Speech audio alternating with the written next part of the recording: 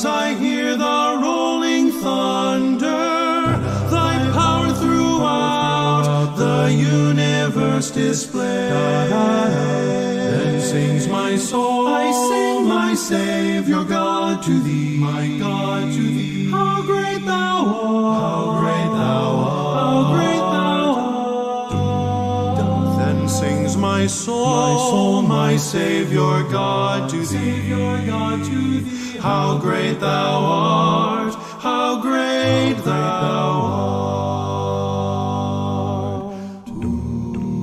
Da da da da da.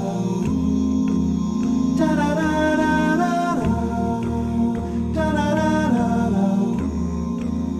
da. When through the woods and forest glades I wander and hear the birds sing sweetly in the trees, when I look down from lofty mountain grandeur and hear the brook and feel the gentle breeze. Then sings my soul, my Savior God to thee, my God to thee. How great thou art,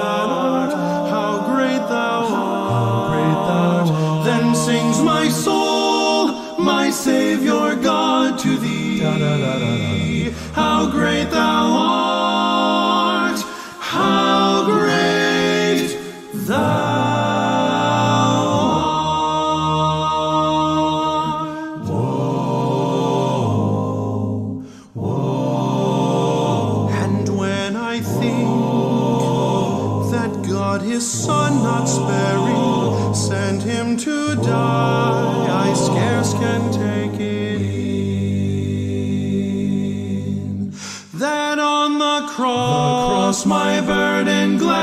bearing, he bled and died to take away my sin.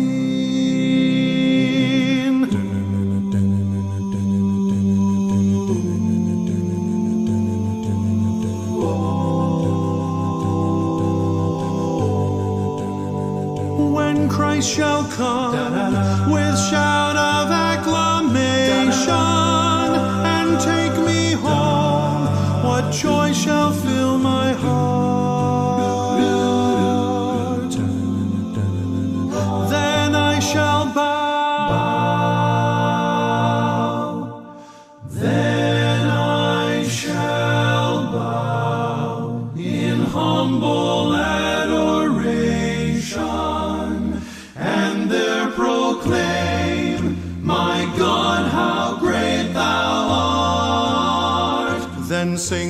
soul, my Savior God to thee, my God to thee. How great thou art, how great thou art. Then sings my soul, my Savior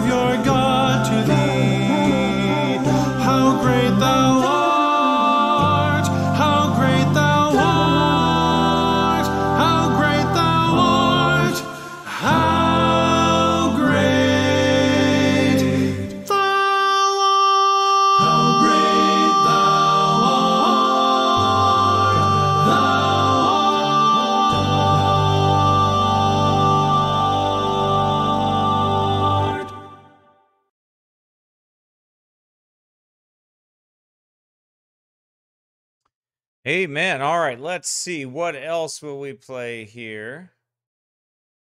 Let's see. I am way behind, man. I am busy, busy, busy. Probably almost. Almost too busy to do a broadcast because I'm heading into the busiest time for the next, not this week, because we're going to wait a week, but State Fair first week, State Fair second week, and then the defeat of Jesse James Days the third week. We are extremely busy folks and heading into even busier times. So praise the Lord for that.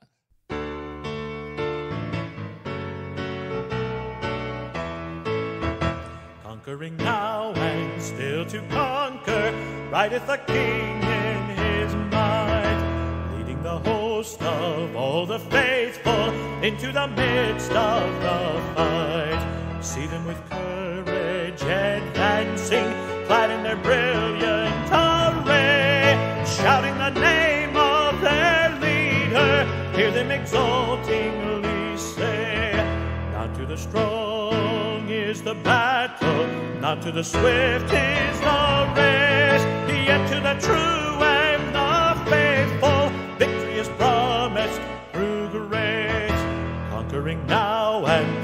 still to conquer, who is this wonderful King? Whence are the armies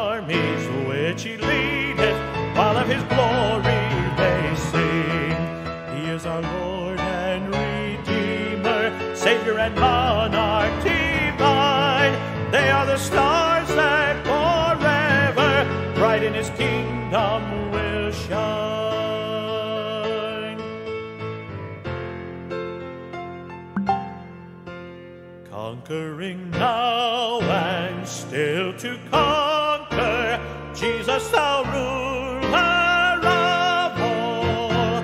Thrones and their scepters all shall perish, crowns and their splendor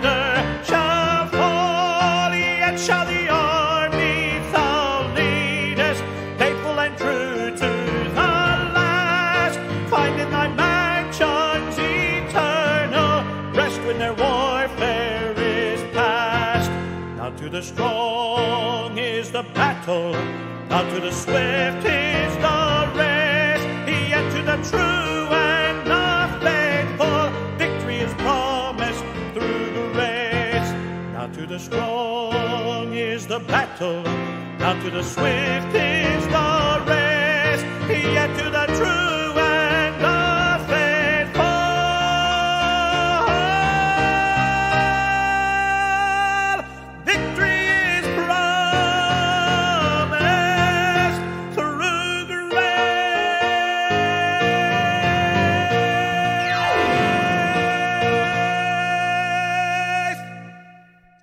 Amen and amen.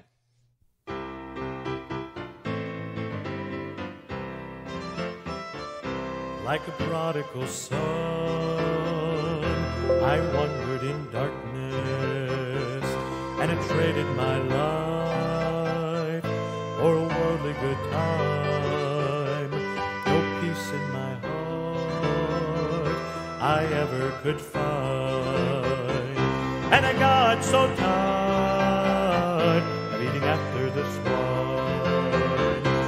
believe I'll go home and eat with the Father. The table is spread and they're waiting for me. I can see the Father coming down to greet me. And Lord, I'm willing to be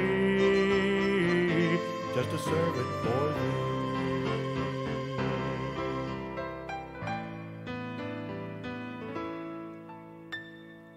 Like a prodigal son, I wandered from Jesus. But the Good Shepherd saw through the heat and the cold the ninety and nine he left in that fold just to find this lost sheep that was hungry and cold. So I believe I'll go home and eat with the Father. And the table is spread, and they're waiting for me.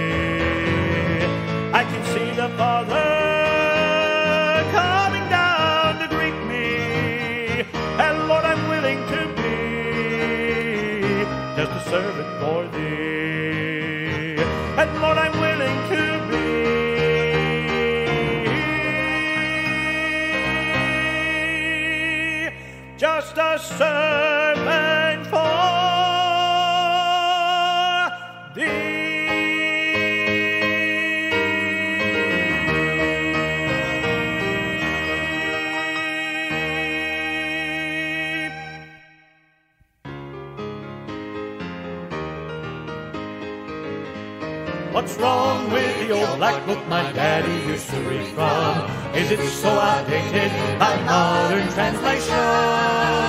Revised Standard and Good News are everywhere I look. Oh, won't somebody tell me what's wrong with the old black book?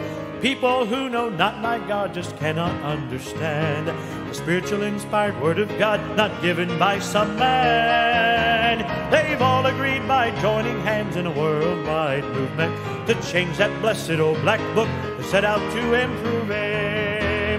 What's wrong with the old black book my daddy used to read from? Is it so outdated by modern translations? Revised Standard and Good News are everywhere I look. Oh, won't somebody tell me what's wrong with the old black book? Jesus said, I am the shepherd, my sheep follow me. As the voice of the stranger speaks, they shall turn and flee. The words my daddy used to read, I've learned to love so dear. But all these other words I hear are strangers to my ears. What's wrong with the old black book my daddy used to read from? Is it so outdated by modern translations? Revised Standard and Good News are everywhere I look. So won't somebody tell me what's wrong with the old black book? Well, the enemy is much too smart to jump right in and say, just forget all that you have learned of God, cause it's not true anyway. And they're making plans in years to come to take God from our minds by giving us new Bibles changed a little bit each time. What's wrong with the old black book my daddy used to read from? Is it so outdated by modern translations? Revised Standard and Good News are everywhere I look. Oh, won't somebody tell me what's wrong with the old black book? What's wrong with the old black book my daddy used to read from? It is so outdated by modern translations? Revised Standard and Good News are everywhere I look. Oh, won't somebody tell me what's wrong with the old black book? Oh, won't somebody tell me? There's no one who can tell me what's wrong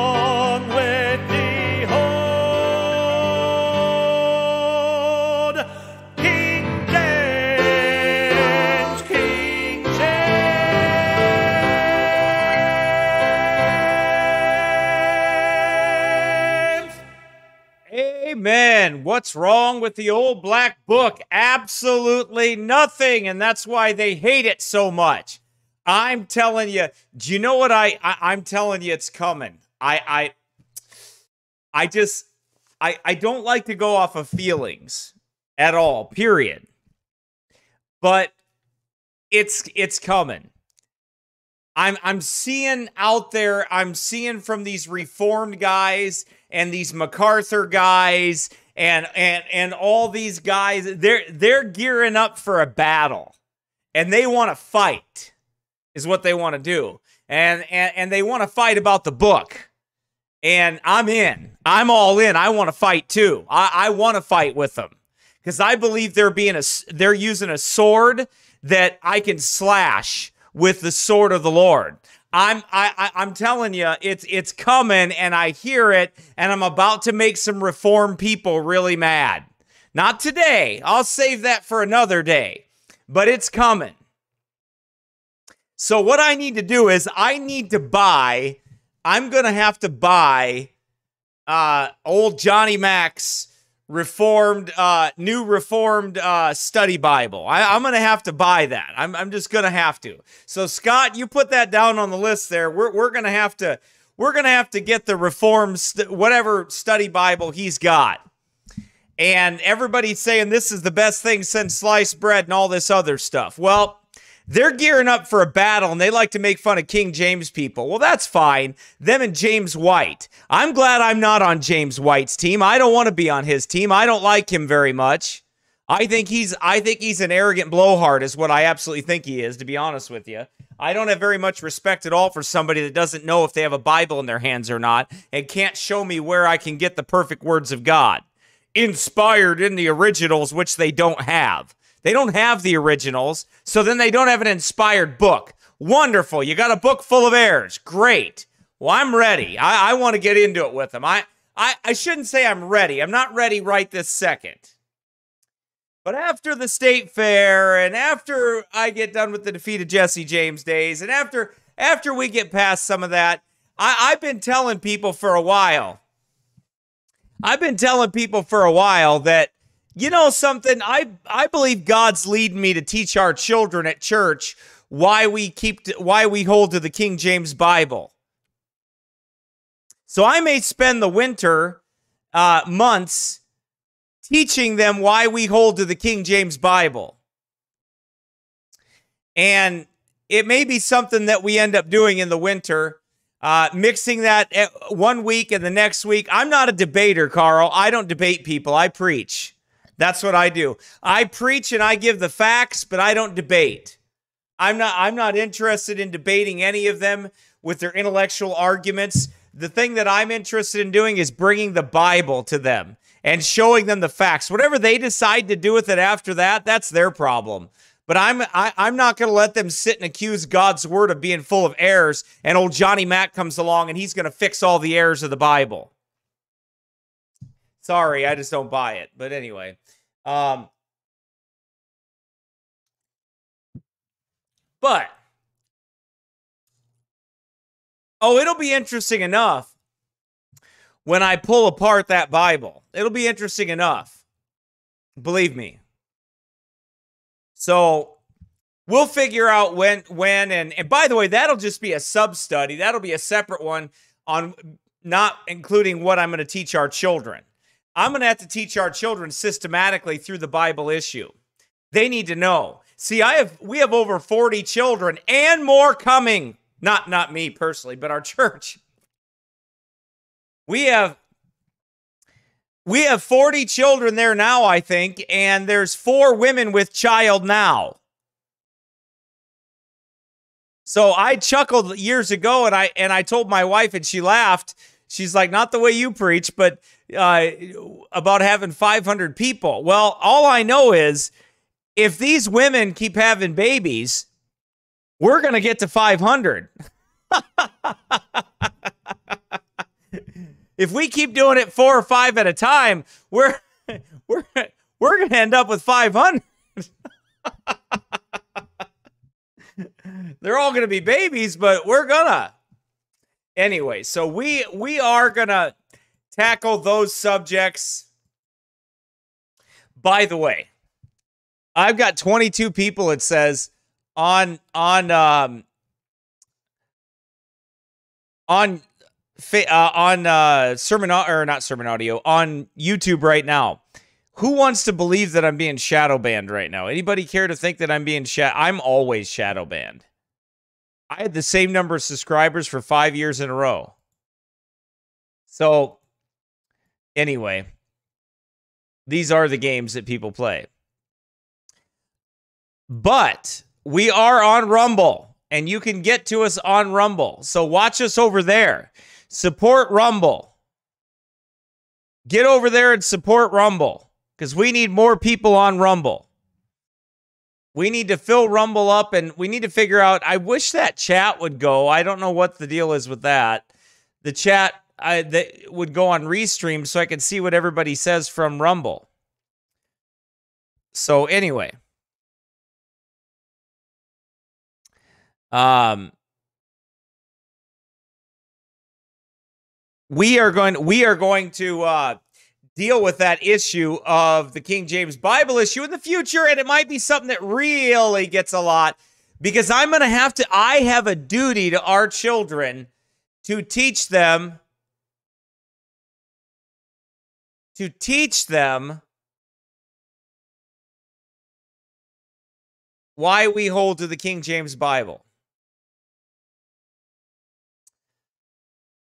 Uh, because these guys have an imperfect book and they they say inspired in the originals. Well, you don't have the originals, so then you don't have the Word of God. Well, that's not good. Anyway, I didn't come to talk about that today, but for some reason, I just I, I'm telling you, I I've had it for the last now. Nothing to do with MacArthur's Bible or anything that prompted that. It was I was going to teach our, but then I'm starting to see all these people talk about, oh man, these this is so good, this MacArthur Bible and and uh, and all this other stuff, and it's the best thing in the world, and all this. Uh, and okay, all right. I know James White and Steven Anderson. They're great together.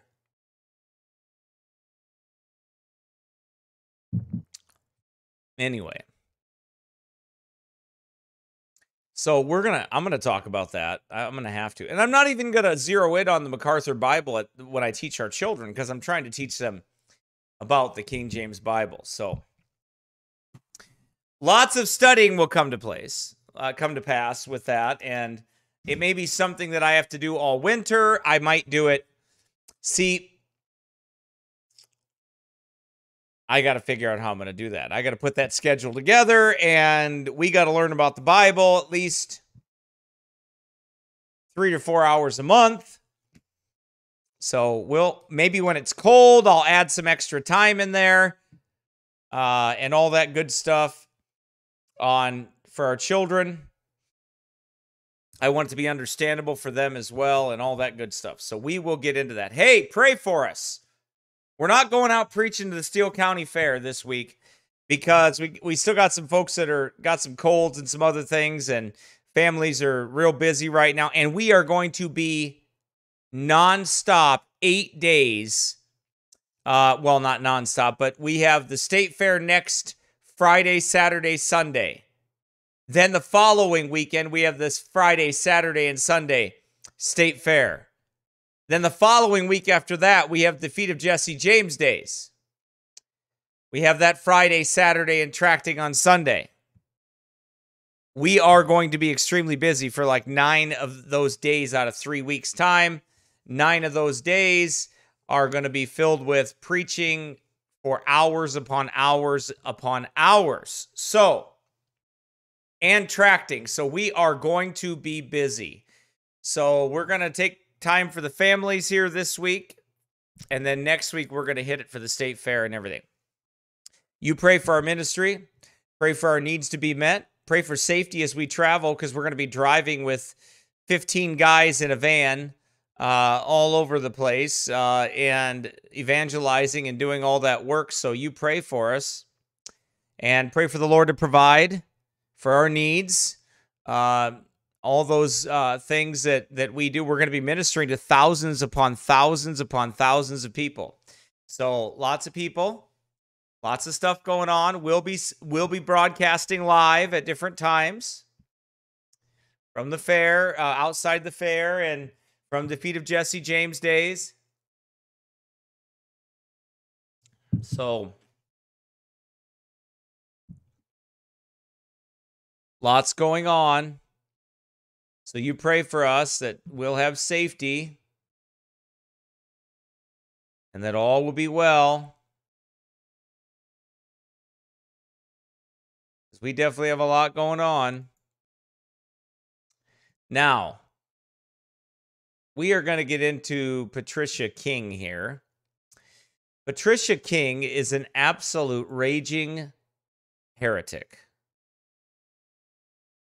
and she is a charismatic Jezebel witch that teaches the servants of the Lord and seduces the servants of the Lord to sin against him. Now, the reason why I included Dr. Michael Brown because Dr. Michael Brown is an apologist for the care he is the gatekeeper for the charismatic movement. Now,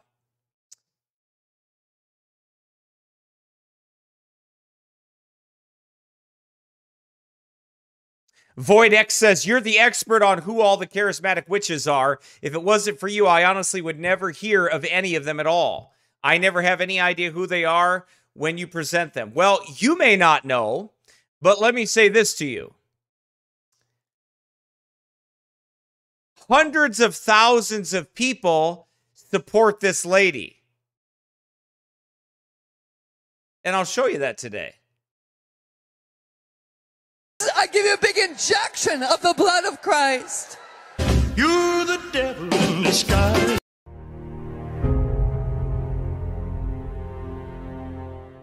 I I really feel this needs to be addressed because if we um, are are trying to bring biblical values and kingdom values into the now, but we are living anti-biblical values, then we lose our voice, but we also lose our authority. We're actually giving our authority over to the enemy. And obviously, we lose our moral authority in the eyes of the world because they look at us as hypocrites, and then our spiritual authority because God's not backing us in that same way.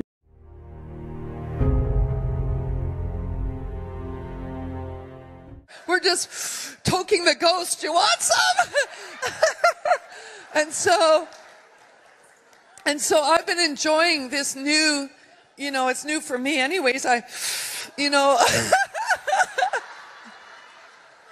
I mean, we used to take the wine barrel and go, you know, whoa, you know, and get all filled with the new wine and, you know, but now, you know, so I came in this morning and I couldn't resist. I was in the hospitality room and, you know, had a few good tokes and now I'm ruined. I don't know. I don't know, you know, but, um, And obviously, we lose our moral authority. Um, basically, what she just said is she's toking on the Holy Ghost. She's toking, I'm going to say that again to you. She's toking on the Holy Ghost. Does anybody remember the video of Kenneth Hagin's uh, laughing revival when they had just one dose of the Holy Ghost? She is high. She is mocking the Holy Ghost. That's what charismatics do best. They're really good at it. And then when they have got when they have Stash Man here, Stash Man over to the right here, Stat Dr. Stash Man is the apologist for them, and Dr. Stashman tries to give them the cover.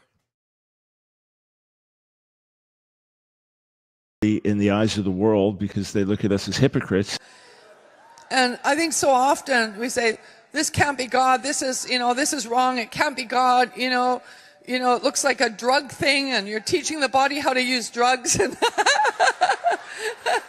And, so you got to listen. You got to listen carefully to that kind of opposition. And then take a little toke and then give an answer. Why don't you breathe right into that place? Right into that place. Bring in the ghost. Ah!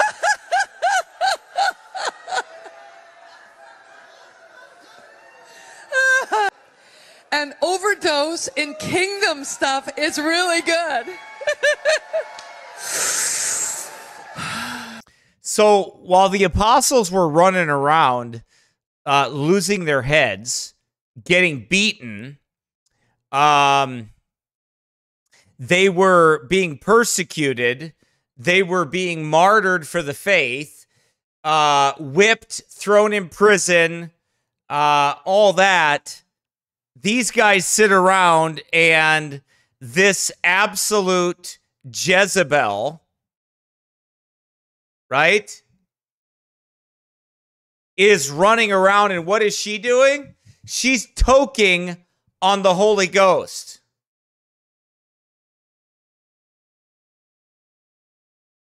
And obviously, we lose our moral authority in the eyes of the world because they look at us as hypocrites. You can breathe it in, but you can also mainline it.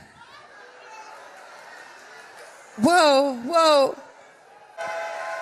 Inside your hand is God's hand.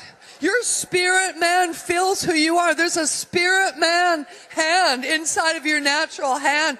Okay, so I think she's high too because nobody's that much of an idiot without drugs. So, is it a euphoric high from devils? Yes. I actually believe that. Yes. I I don't believe she's faking. I believe she is literally possessed by devils and and she I used to say they're snorting devils. Well, now they're smoking them. I believe she is smoking devils. That's exactly what she's doing. Sucking them all in. Absolutely. And somebody said, What if somebody thinks she's a real Christian? That's what my point is. That's why I do what I do. That's why I talk about these people. Because millions upon millions of them are insane. And you know what? and they're and people are following them. You know what I think is really funny is when people try to be like, "Oh, what's the point? Why do you do this? Why do you talk about all this stuff? It's no big deal. There's only millions of people going to hell cuz they're following this deceived nonsense." Why don't you just go back to your hole, preacher? Go find a hole and sit there, will ya? And stop warning us. We want to be asleep. Don't tell people about this right? To which what I say when women and, and people like that say that to me, I just look at them and say, Get behind me, Satan. Because the only one that wants to shut me up and keep me quiet is the devil and a bunch of Jezebels that follow him. Yep. Mm hmm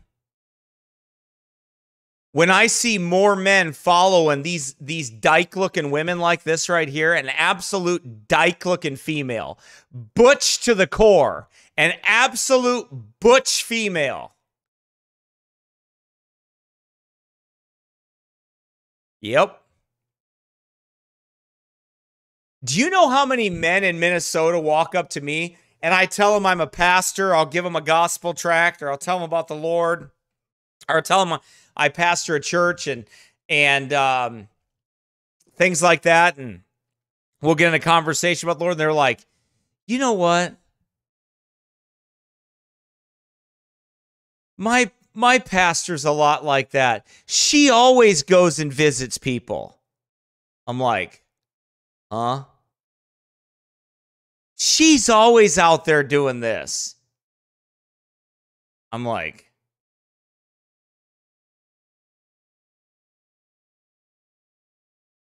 Do you understand how many effeminate men walk around Minnesota and they go into churches? They go into churches, right? With effeminate or uh, with masculine women ruling over them. Right? And you must never forget about that guy.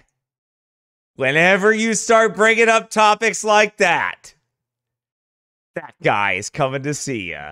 That guy right there. That guy right there. The the the the embodiment of effeminate Minnesota men. That guy right there. There he is. That guy. Whenever, whenever you think you're, whenever you think you're gonna get past a broadcast when talking about stuff like that, what happens? That guy shows up, and he's there, and he says, "Hey, what are you doing, Mister Baptist man? What are you doing?" And that guy says, Hast thou found me, O mine enemy? And I look at him and I say, I have found thee and that Jezebel wife of yours. that guy. Nobody can forget about him, can they?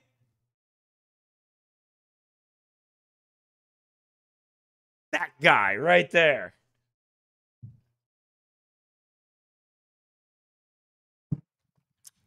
Mm-hmm. You know it, Joe McDonald. You can't forget about that guy, can you? So, back to Dr. Michael Brown and Patricia King. Dr. Michael Brown. Dr. Michael Brown, the apostate apologist for the charismatic, toke smoking people. charismatic witches. That is full of the greater glory of God. And now turn to your neighbor and give them an injection. She's talking about giving them an injection, you know, like heroin, like you shoot heroin up. She's talking about giving them an injection of the blood of Christ. See, some of you don't understand why John MacArthur got so irately ticked off at these people in the 70s and why he came out against this stuff and probably on some areas went too well, did go too far in my opinion. Uh, in some of those areas when it comes to the blood of Christ. These are the these are the reasons why he did it. These people angered him so much because of their absolute nonsense.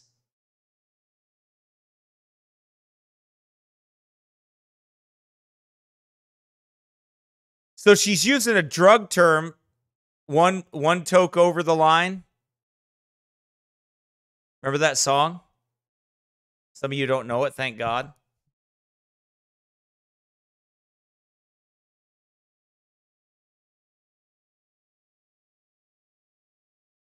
I mean, this is this is the group um Brewer and Shipley, they have a song, One Toke Over the Line, Sweet Jesus, One Toke Over the Line. Sitting downtown in a railway station, One Toke Over the Line. Well, that's what she's equating it to. Right? That's one toke over the line. Blasphemers, mockers of God, mockers of the work of the Holy Ghost. But they say, they say, these charismatics say, well, you're mocking the Holy Ghost, and you're because you're denying the work of the Spirit. Look, you little leather tongued Jezebels. I'm not denying the work of the Spirit. I'm denying your blasphemy of the Holy Ghost. I'm denying your absolute blasphemy of the gifts of the Spirit.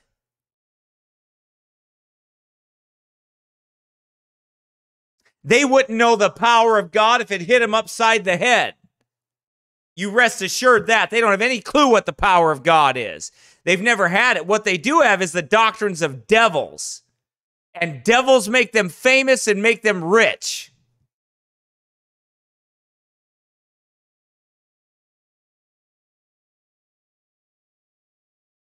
And by the way, you know what I think is funny? Pentecostal women that come on here and defend this Pentecostal nonsense. Well, why? Well, they have to. That's their mama. The whole movement was started by women. The whole movement was started by Jezebel, and they all have that spirit of Jezebel in them. And they all oppose the truth. And they don't like male leadership. They hate men. And what you have to understand is, I, I, I want you to, I'm going to help you with something. When you Jezebels come on here, and you Jez and and you write me and you send me letters and or uh, write me and send me things and and uh, and get mad at me and emails and all kinds of stuff and you get angry with me and you put comments on it and all that stuff you don't understand when you do that it's like you're just saying sick 'em because i it it just it's fuel it's fuel for me to fight that even more it's fuel for me to fight that charismatic spirit even more. Because I'm firmly convinced that the majority of Pentecostals and charismatics don't know the gospel, period. I don't believe they know what the gospel is. I absolutely do not believe they know what the gospel is.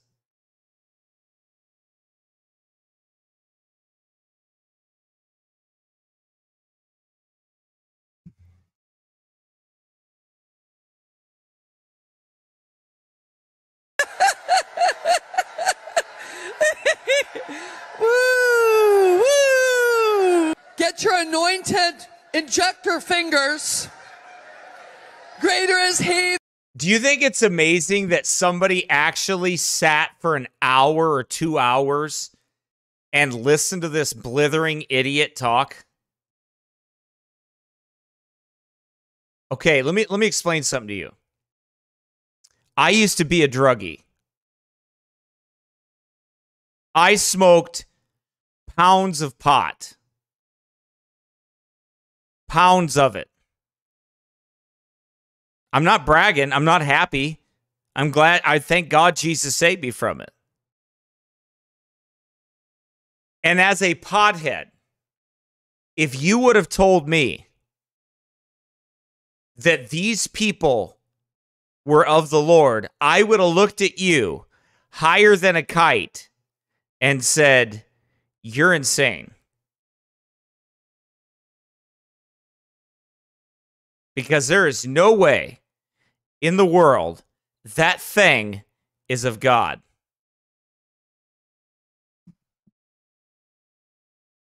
He that is in you than he that is in the world, and give them a big injection. Every single one of them, give them a big injection.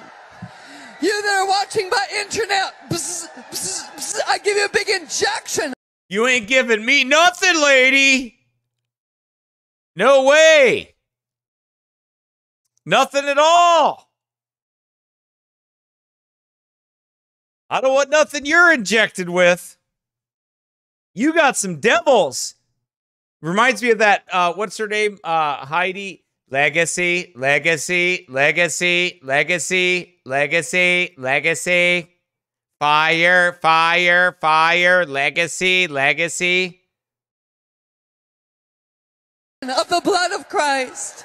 And obviously, we lose our moral authority in the eyes of the world because they look at us as hypocrites. How can anybody think that Dr. Michael Brown has a leg to stand on?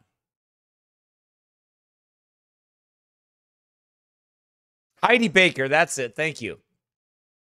How could anybody think that that because see, uh, Satan is using Michael Brown. He's using him to give cover to all these people. Absolutely. I believe that 100%. That that's exactly what's going on. Let me see if this is the right one I'm looking for. Wow. When you put in uh, Patricia King right now on um, YouTube, it's the second video mine is. That's hilarious. Good. That's awesome. Anyway, uh, let's see. That's not the one I'm looking for. Is it this one? Oh, yeah. So, as we're going to continue to talk about that, um, and I think this is it. I don't think there's, yeah, there wasn't anything else I wanted to cover with that one there. Okay, but I am going to show you another one here. This will pretty much prove to you that this lady's a witch. Now, you have to understand, most of her videos, this one doesn't, by the way, but most of her videos, most of them have hundreds of thou a lot of them have hundreds of thousands of hits. Okay?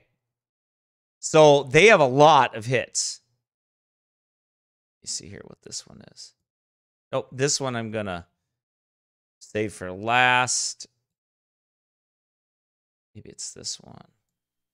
Nope, that's that one. Have that one already. This is the one. So this is like a playlist here of just, and we're going to talk about this how to open heavenly portals. She's teaching people how to open heavenly portals. Um, uh, here's some. Okay. Uh, on discerning angels, angels with special deliveries, defeating Jezebel. So a Jezebel writing about defeating Jezebel. That's nice. Look at the one eye there. An assignment for prophets. Whatever you focus on, whatever you focus on, you empower. What does that even mean? Doesn't matter. They just make stuff up as they go. That's what charismatics do.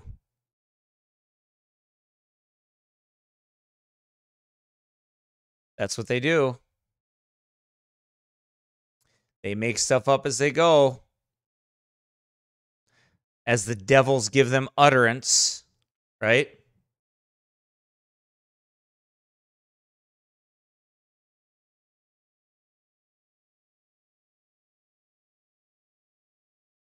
Now,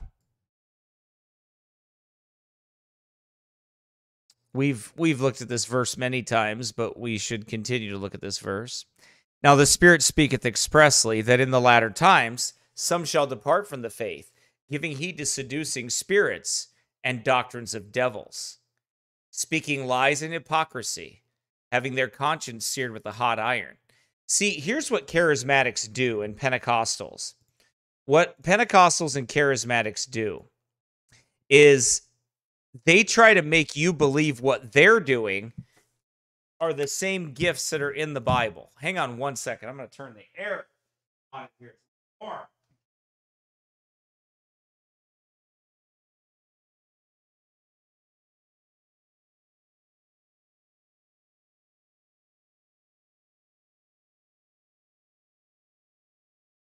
Now it's going to freeze me out.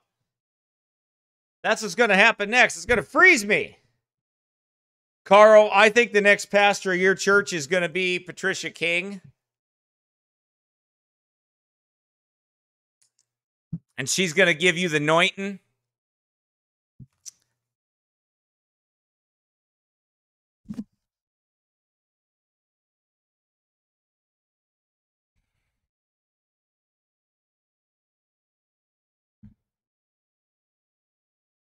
Well, that's not true. You don't only follow Jesus. You follow Jesus in the sense that in in the word of God that that he is over you. And he is the final authority.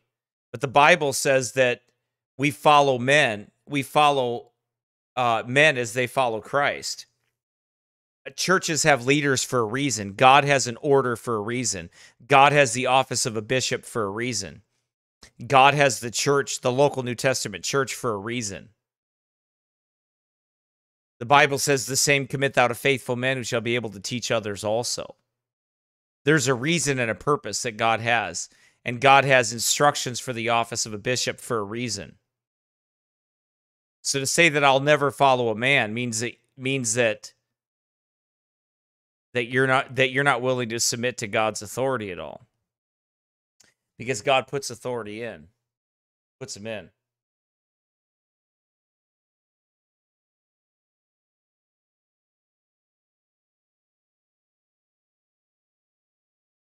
Just had an old friend of mine stop by taking talking to me because I don't hold Sabbath Saturday. I believe it's the first day of the week. I didn't say anything badly to her about it, her beliefs on it. Well, I'll tell you something, um, Andrea. Uh, those people, when people are consumed, it is a satanic consumption. Okay? So when somebody is taken with a false doctrine and they hold the Sabbath, uh, and they they they use it as a law against God's people.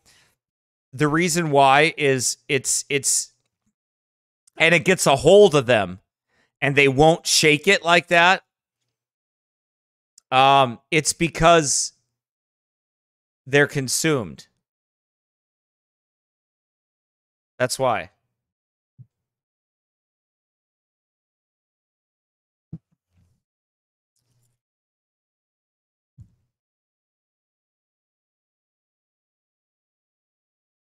So, I mean, that's why, Andrea, pray for her because that's the only thing that can break that is God dealing with her heart.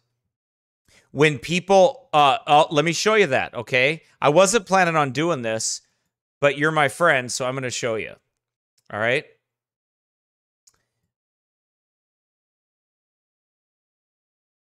me show you something here real quick.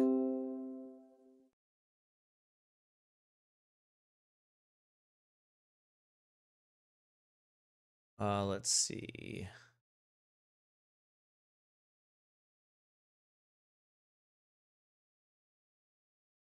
Hang on a second. My computer's acting funny here.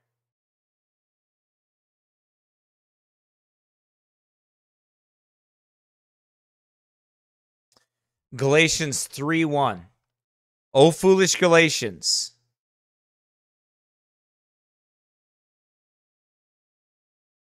Who hath bewitched you, that you should not obey the truth before whose eyes Jesus Christ hath been evidently set forth crucified among you? This only would I learn of you. Received ye the Spirit by the works of the law or by the hearing of faith? Are ye so foolish, having begun in the Spirit, are ye now made perfect by the flesh? Have ye suffered so many things in vain, if it be if it be yet in vain? He therefore that ministereth to you the Spirit and worketh miracles among you, doeth he it by the works of the law or by the hearing of faith? So, in other words, when somebody gets to that point, okay, when somebody gets uh, to that point, um, they're bewitched, they're subverted, the Bible says, right?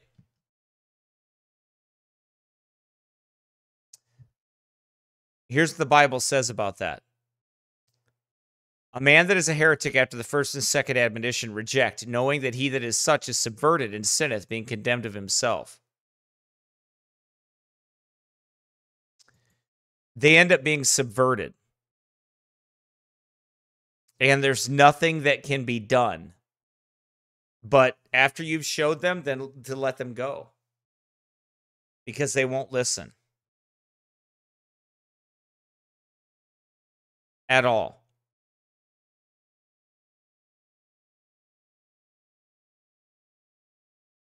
There were no Pentecostals back then. The Pentecostal movement was started, it's a defunct movement that was started.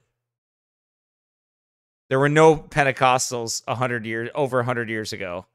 Nobody that followed that besides some some spurious mystics here and there.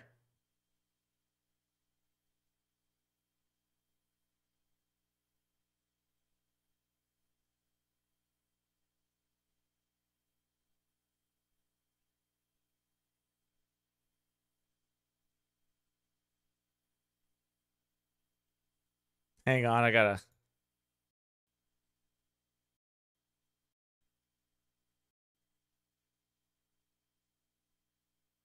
in Jesus Christ, you have access into the heavens and you can actually receive downloads out of the heavens. Jesus uh, taught us to pray, Our Father who lives in heaven, holy is your name, your kingdom come, your will be done on the earth as it is in heaven. So we So, in other words, basically, what this woman is saying to you is that you can receive direct downloads from God and visions and all these other things from God. hmm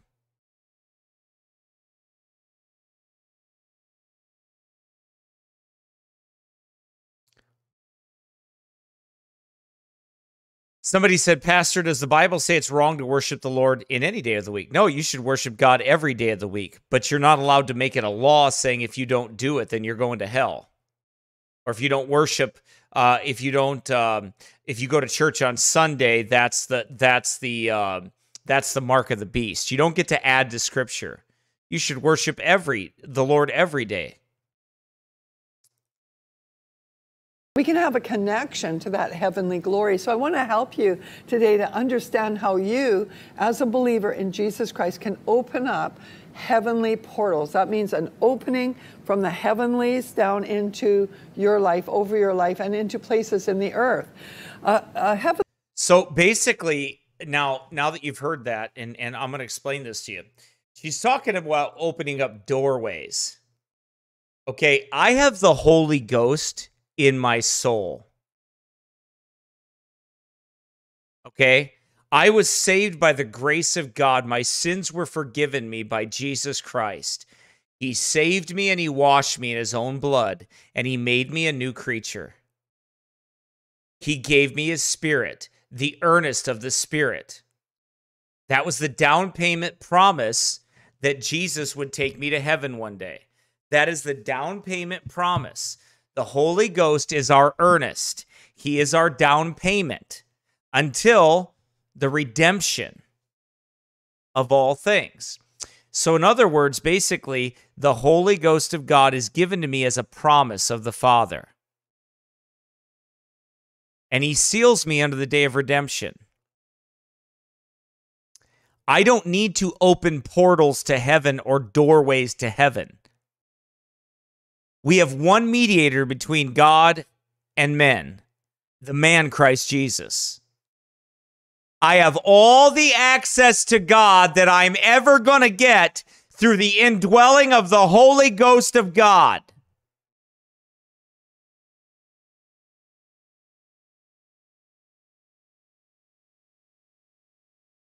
So, what this woman is teaching you is something completely opposite. She wants you to open portals to devils.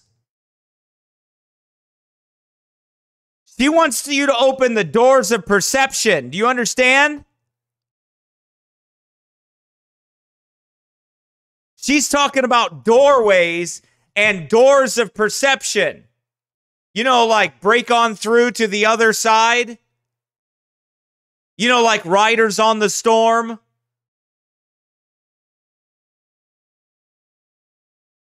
They're witches. And you're going to see how this witch takes the Bible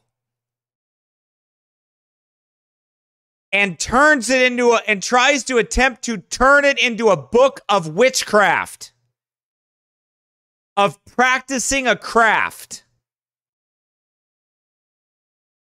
That's what she's doing with it. She's turning it into some kind of Harry Potter novel.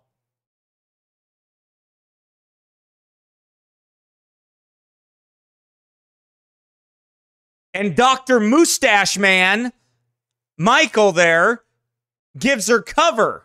And their ministry's cover to do it. Because he tries to make himself look like a sane person.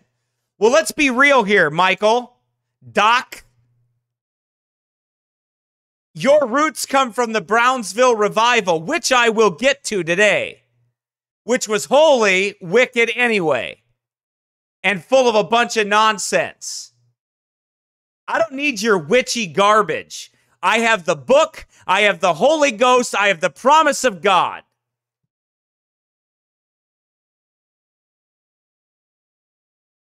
I don't need portals open to heaven heavenly portal is actually just a window, it could be a door, an opening into God's realm, into his eternal realm, into the heavenly dimension.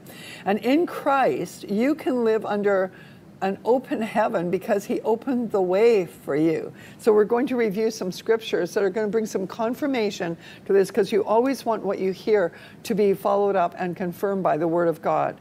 The first scripture that we're going to look at is Deuteronomy 28:12, and it says the Lord will open for you his good storehouse, the heavens. He's going to open the place of the heavens and give rain to your land. Oftentimes, rain in the scripture is in reference to blessings and to bless all the work of your hand, and you shall lend to many nations, but you shall not borrow. So, how would you like to live under an open heaven that God has opened for you in, in Christ? It's all open, and blessings are pouring down to a point where you never need to borrow. You will be the lender. Right. So, you're never going to, if you just follow this, if you follow if you follow my spell, if you follow my formula, then windows of heaven are going to open and you're going to be rich and you're never going to have to borrow anything.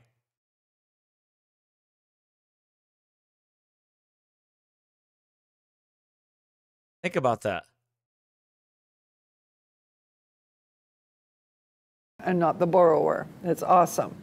In Matthew 3:16, we see that after Jesus was baptized, he immediately came up out of the water and behold the heavens were open. Now here's where she gets into some blasphemy right here and false doctrine. 2000 years ago, Jesus opened the heavens. In Deuteronomy 28, which we just read, that is an open heaven for everyone who, who obeyed all the commandments. Well, no human being except for Jesus has done that. So in Matthew 3, we see the fulfillment that Jesus, fulfilling all righteousness and especially taking the waters of baptism, which meant that he repented on behalf of all mankind's sin, he Stop. She said that Jesus, his baptism represented him repenting for all man's sins. No, the Bible says that Jesus' death, burial, and resurrection, he tasted death for all men. He died for all men's sins. It's absolutely heretical what she just said. But that, don't get me wrong, that's what Pentecostals and charismatics specialize in. They specialize in heresy. They have a PhD in it. They have an honorary doctorate from the devil. It's a triple DDD. They get it. They get the 3D from the devil, a 3D degree, doctorate degree from the devil. That they they they get. They are heretics to the core.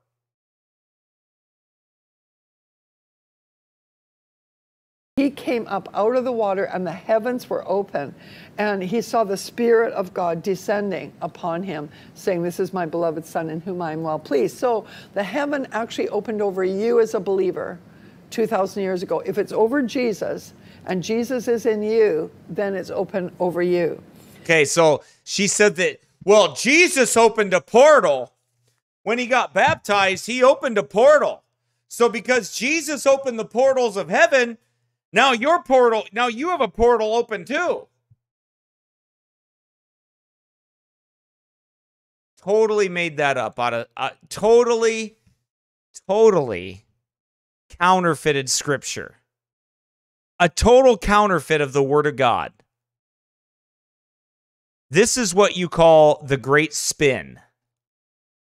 Taking something that actually happened, Jesus being baptized, Jesus being our example, the Father recognizing Jesus' baptism, and honoring it, and she totally changes it into something wicked. That's what Satan does. And marvel not, the Bible says. Satan comes as an angel of light.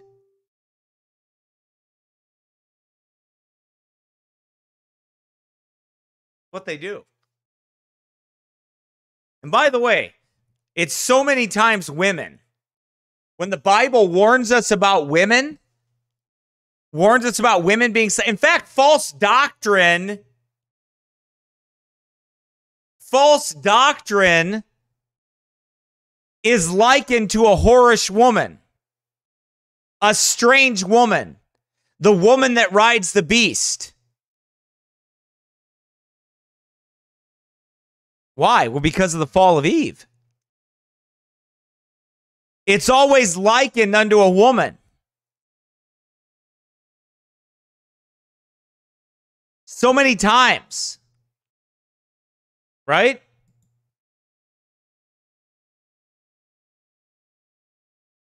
It's likened unto a woman. And that's what's here.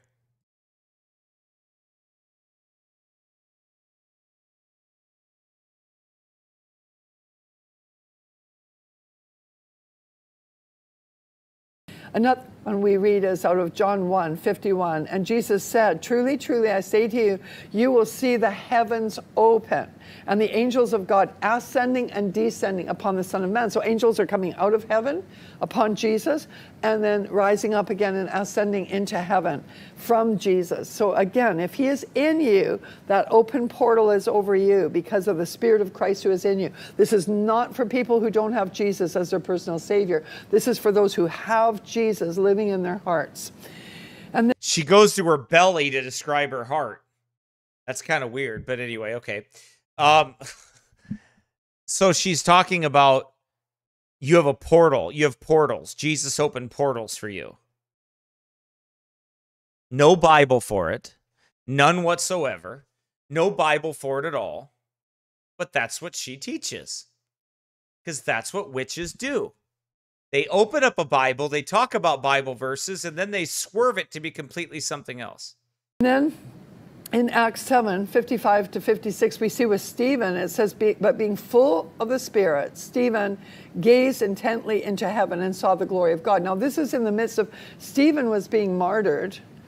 But in the midst of that, he sees this portal open, and Jesus is standing at the right hand of, of God. And he said, Behold, I see the heavens opened up, and the Son of Man standing at the right hand of God. And so when when Stephen died, it said that he had this glow on him that people thought he was an angel, and that's because he was inside of a portal. He didn't suffer. He didn't, you know, feel the kind of pain.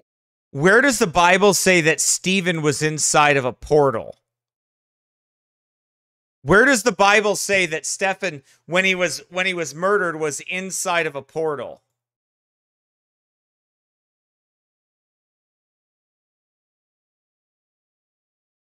Let's see here.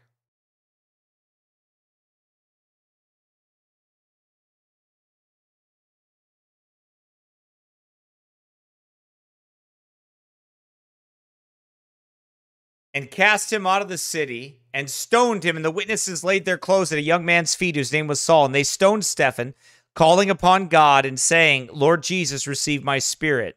And he kneeled down and cried with a loud voice, Lord, lay not this sin to their charge. And when he had said this, he fell asleep.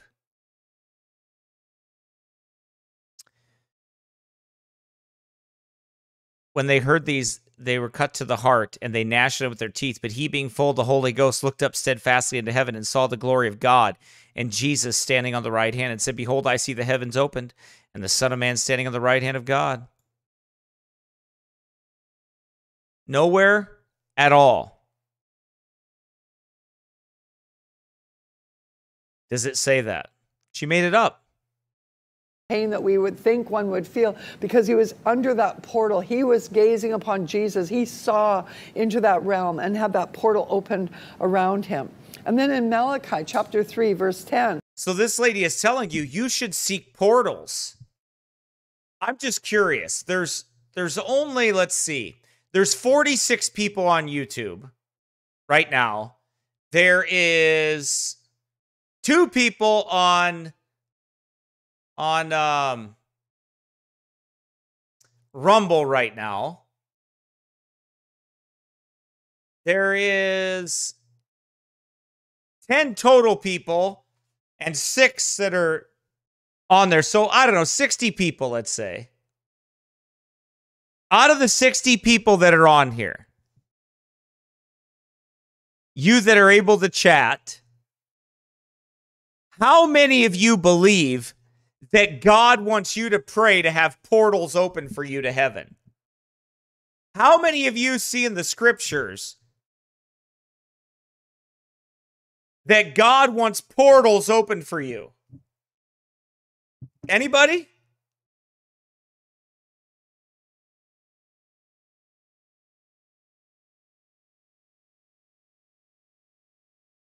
Anybody think that anyway at all? How about Pentecostals and charismatics, if there's any listening to me that get angry at me? How many think that they're supposed to be monkeying around with portals? I think I'm supposed to have portals open.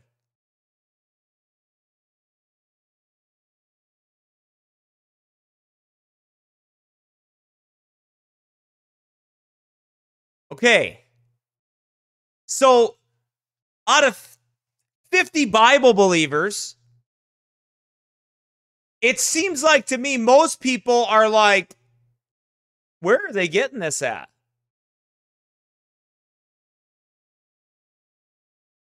Where are they getting it from?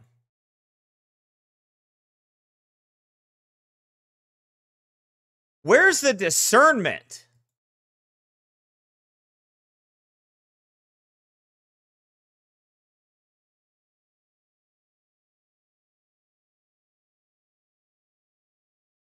Terrible.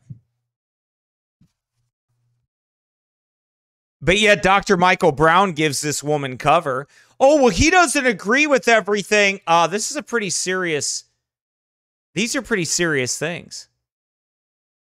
It says, Bring the whole tithe, that's 10% of everything that comes into our hands, into the storehouse, so that there may be food in my house. And test me now in this, says the Lord of hosts, if I will not open for you the windows of heaven and pour out for you a blessing until it overflows. So we see that for those who give God the first and the best, honor Him with the tithe and the offerings, that God Himself will open the windows or the portals of heaven and pour out a blessing that we can't even contain. And then See, so if you tithe, God's going to open portals for you. Right? If you just, I mean, if you tithe, God will open some portals for you.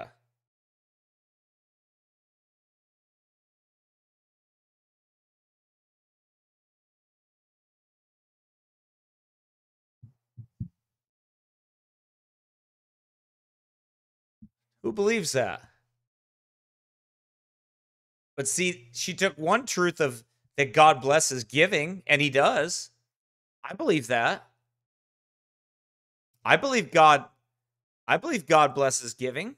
I absolutely believe that. I believe that if you give the first fruits and and to the Lord's ministries and to the Lord's churches, I believe you'll be blessed. Sure, why not? It's in the Bible. What does that have to do with opening portals? Nothing.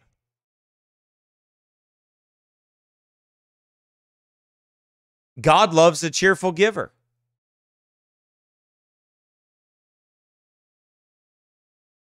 God loves those that that that have a giving heart that want to help others. But has nothing to do what she just said. At all, period.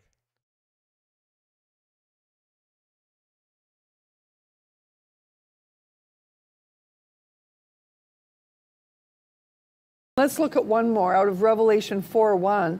It says, After these things I looked and behold a door standing open in heaven. So this is John, and he's all of a sudden seeing a door open in heaven. Well, we know Jesus is the door. And the first voice which he heard, like the sound of a trumpet, was saying, Come up here, and I'll show you things to come.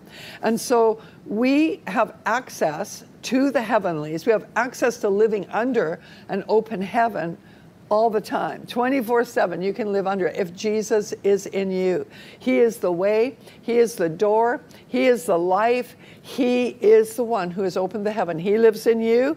All that activity is based on his presence on the inside of you. Now uh, ruth heflin ruth ward heflin um, was an evangelist a revivalist many years ago. So where does the bible say that a woman is supposed to be an evangelist and a revivalist where do we find the uh, scriptural qualifications of a revivalist or a a uh, a revivalist or an evangelist a female? When did jesus ever ordain one? When did the apostles ever ordain one? When were they ever commanded to preach in mixed co- mixed company and to hold those meetings. Where was that ever at? Where was that found in the scriptures? It's not. They're a bunch of usurpers, is what they are. It's a way for feminist. It's a way for feminist and man haters to usurp authority and try to act like they have biblical mandate to do it. Never seen the office of a revivalist. Never seen that. Never seen where God called women to do any of those things. And that's why Pentecostal women hate Baptists. Baptists that follow the book, they absolutely hate them. They absolutely hate them when a bat because because nowhere in the scriptures is this grand prophet woman that's going to teach you how to unlock the mysteries and open the doors of perception and unlock spiritual portals. Sounds like a witch. Sounds like a witch. And she had a lot of glory going on in, in, in, her meetings. I mean, there would be miracle signs and wonders all the time. And, and you know, the, the presence of God was tangible and thick. There would be feathers falling, oil pouring out, gold. So, where in the Bible does it say that feathers are supposed to fall from heaven when I preach and gold dust is supposed to come out? Last time I checked, gold dust was some gay wrestler. Okay. So, what in the world, where in the Bible does it say, well, when you preach, I mean, a, a real move of God is when feathers fall from heaven.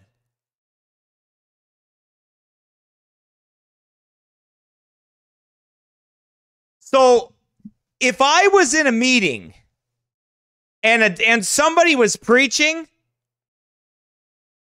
and feathers fell from heaven, I would leave.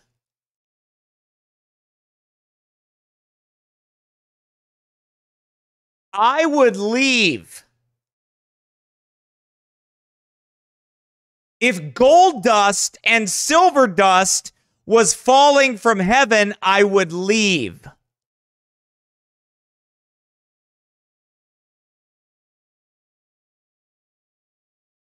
That's what I would do. I would not stick around a meeting like that. If feathers were falling from heaven, I'd be out of there.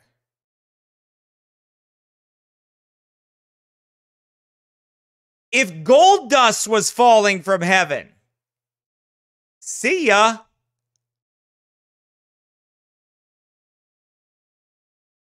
Because one day lightning's going to fall from heaven.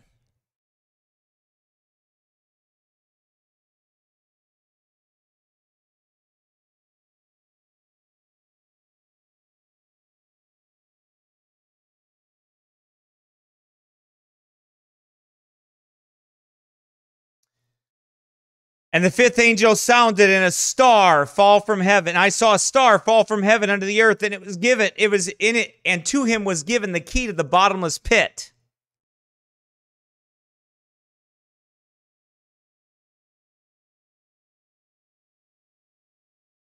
Right?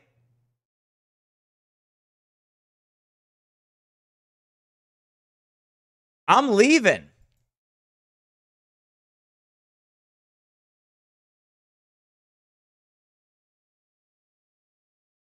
Right? Wouldn't you?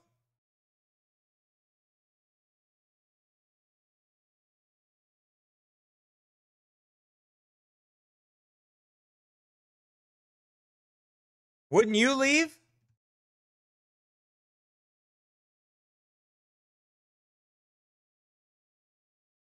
I'd be getting out of there. I wouldn't be sticking around. It's kind of dangerous, don't you think?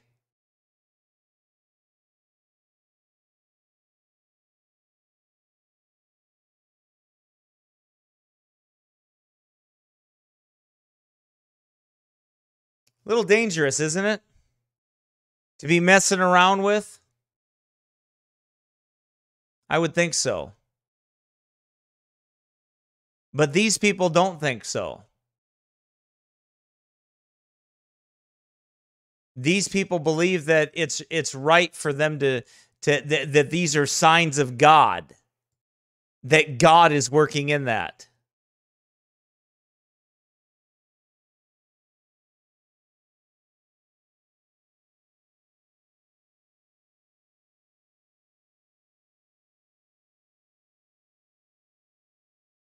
I'm trying to find it for you. Oh, there it is. I think I found it right here. Here we go. And he's telling him about these these encounters with Bigfoot that he's having. The Nephilim, Nephilim, Nephilim, Nephilim. And I lifted up my sword. Crazy. And I was like, and he was like, and I was like, I'm getting my shotgun. I'm getting my 45. Tense spiritual warfare. Give me my gun. Give me my 50 cal. Give me my my Uzi. Whatever I got, just give me something, and I'm blowing these things away. The okay. So you aimed your prayer. What are you like a prayer? You got a prayer bazooka? You got a prayer missile? I aimed in strong spiritual warfare. I aimed my prayers at that side.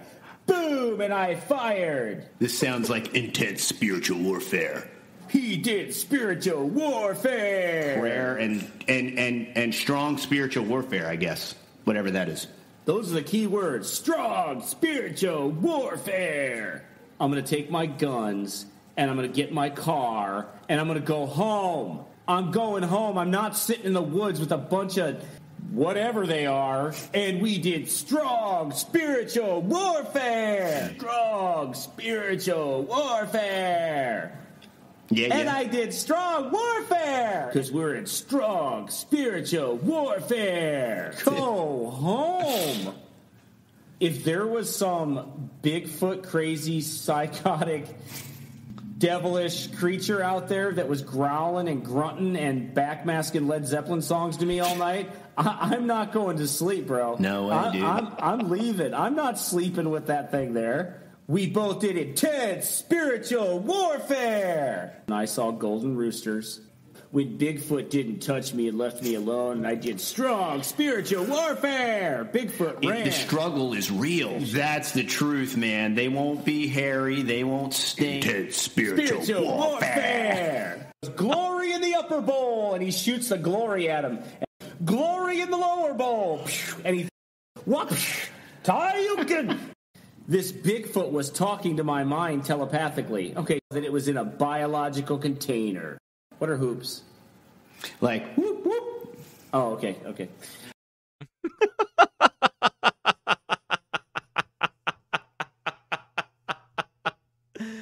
Oh, too much fun. I once rode in a van with one. That's true. You did. You did. Aaron. glitter, you know, silver glitter, all kinds of, you know, fragrances and that as they would worship the Lord. And she had coined a phrase. It was praise until the spirit of worship comes, worship until the glory comes, and then stand in the glory. And so she, and this is the first uh, key I'm going to give you, is that she would open the heavens through praise and worship. Okay, so so I don't know if you realize this or not. If you just if you th- these people are such witches. They are such witches. I oh, I can't stand them so much. If you just if you if you praise and worship and you work up the crowd, it's almost like you know what it reminds you of? It reminds you of of Hulkamania. That's what it reminds you of, okay? Because what when I when I watched wrestling when I was a kid, and when when when Hulk Hogan did the fish face, it was over. I mean, you could hit him in the head with a steel pole. You could hit him in the head with a crowbar, and he was like, they they you just worked it up. I mean, he just got worked up. Or like the Ultimate Warrior when he came out running and he came out and he's like this, and you just you just have to work it up enough. If you can work it up enough, if you can work it all up enough, then you'll open the portals of heaven.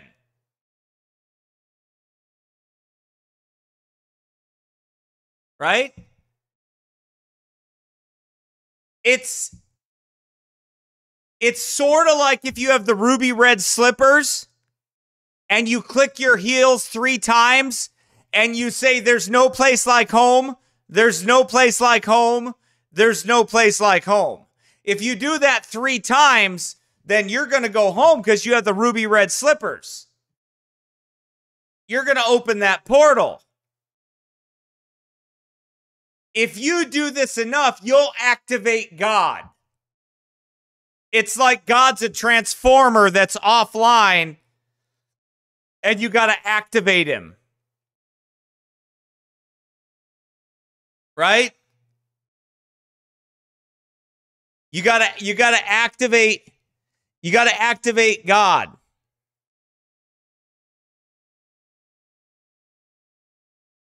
You know, so so if you do the right things, you'll activate God. It's like Transformers, transform and roll out. See? What you got to do. And then you just stand in the glory and dust comes falling from the sky, gold dust and silver dust and and feathers. And I mean, what's wrong with you people? Like why do you have a problem with that anyway? What's wrong with you? Why would anybody have a problem with feathers falling from the sky? I mean, what's your problem? I mean, you're sitting there in a preaching meeting and all of a sudden you got gold dust falling. What is this? In an episode of WrestleMania?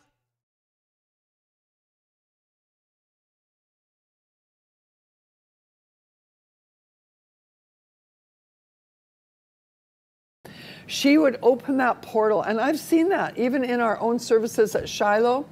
Um, we'll be in worship and worshiping the Lord, focusing in, in on Him. And all of a sudden, I can feel a portal open, an invitation for an open portal where the glory can begin to move within the room. And some.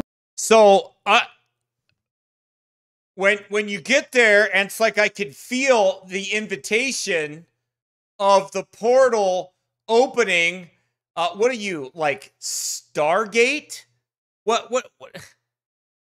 What have you been watching? Bad episodes of Star Trek? What are you looking for the Force, Luke? What's the matter with you anyway? None of that sounds biblical at all.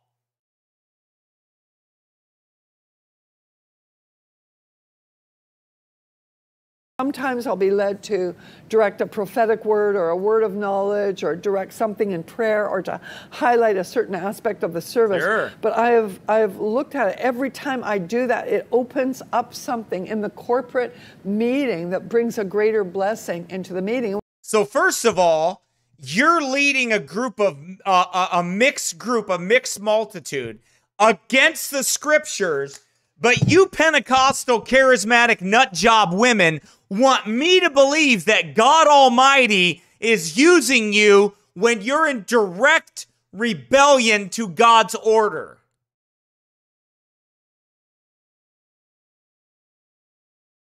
You want me to believe that God is using you.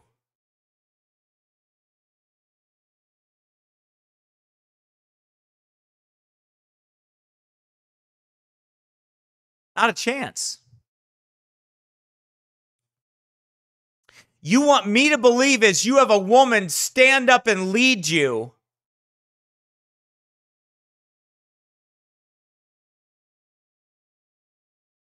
Right? So, you Pentecostal women, you remember one thing. You charismatic women, you remember one thing. And you men that follow them, you effeminate men that follow them. Remember this one thing they're in rebellion to God by doing what they're doing, and you are too. So everything that comes from them is not of God.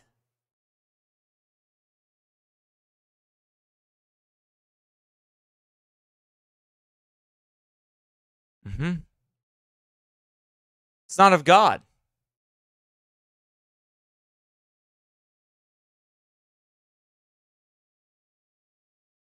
What they're doing is not biblical.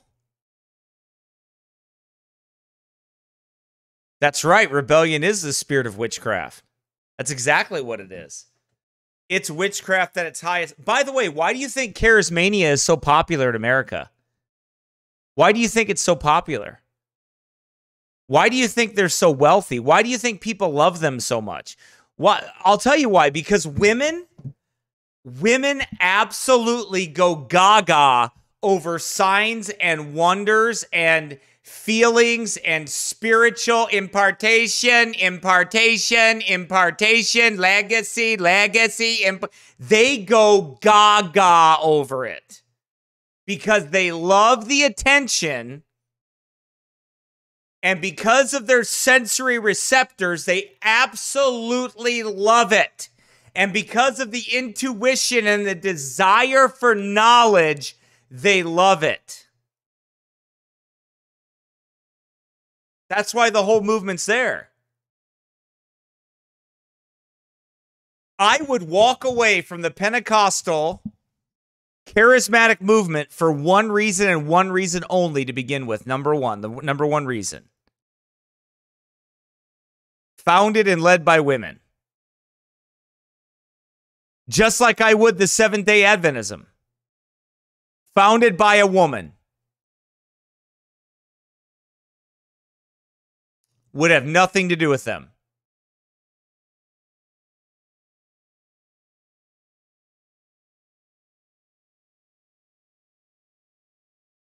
Any of those groups. Why? Because they're founded by women. Bobbed haired, bossy wives. That's why.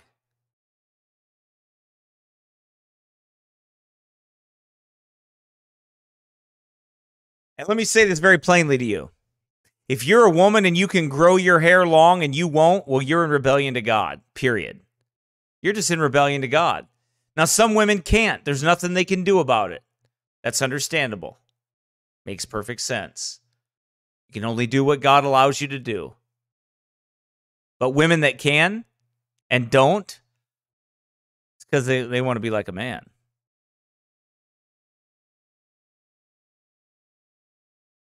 What's actually happening is that angels are being dispatched, the presence of the Lord is intensifying, and the corporate body is getting connected to what God's wanting to pour out from heaven in that particular moment. And I can feel portals open and I can feel when they close as well. Oh. And so oh. sometimes you have to operate within that. So I can feel when they close and when they open. Ah. So where do you find that in the scriptures? That I'm supposed to feel when the portals open and close and you know I can feel it.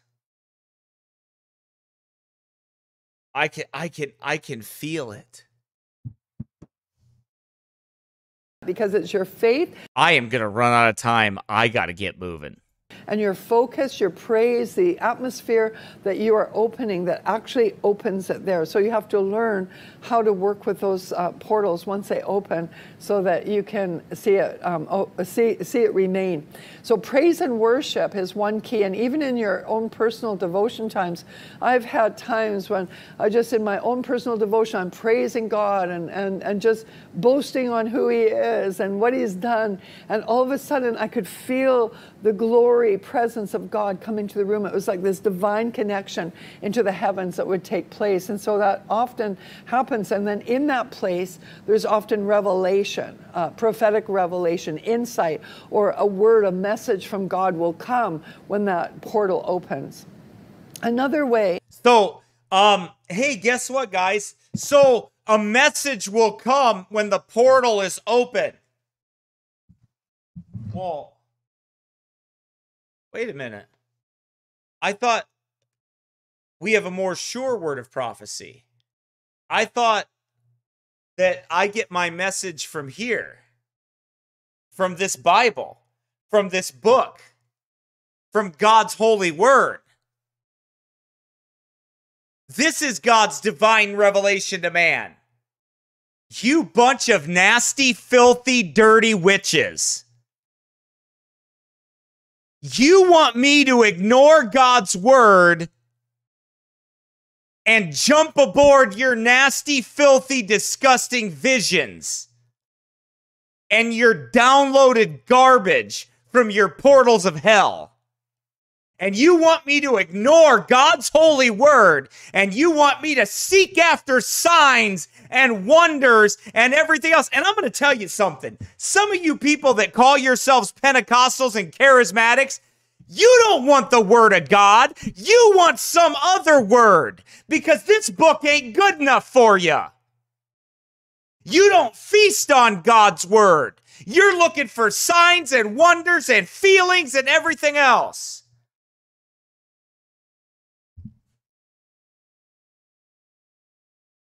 And it's filthy and abominable, is what it is. Absolutely filthy and abominable.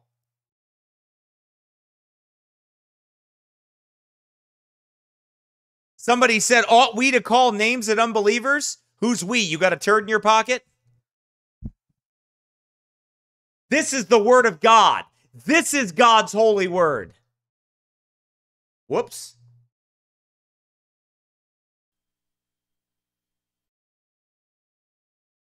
Me go back here.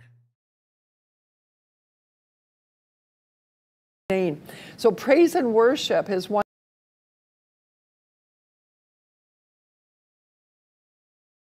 See, these people want you, these witches want you to get off this book. They don't want you talking about this book.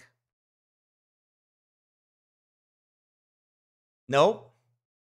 Why is that? Well, because they want you to seek signs and wonders from somewhere else.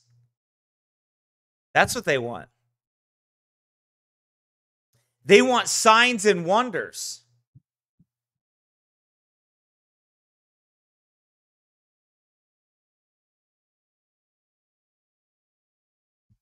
Somebody said they don't do that at our church. I know they don't talk about Jezebels and witches at your church, probably. They probably don't deal with satanic opposition. Uh, they don't deal with people that Jesus called uh, beware of the, or Paul said, beware of dogs, beware of the concision. When Herod came after him, he said, Go tell that fox, Herod. Jesus said, You vipers, ye generation of vipers, who hath warned you to flee from the wrath to come?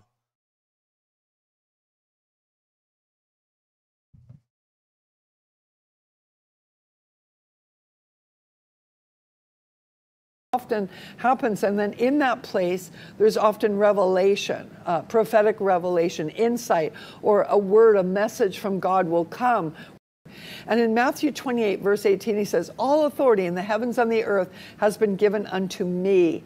And so there's authority in that name. He's sitting at the right hand of the Father in the heavens. So when you call on his name and reverence his name and use his name, it is. So they want to use Jesus' name like some magic talisman.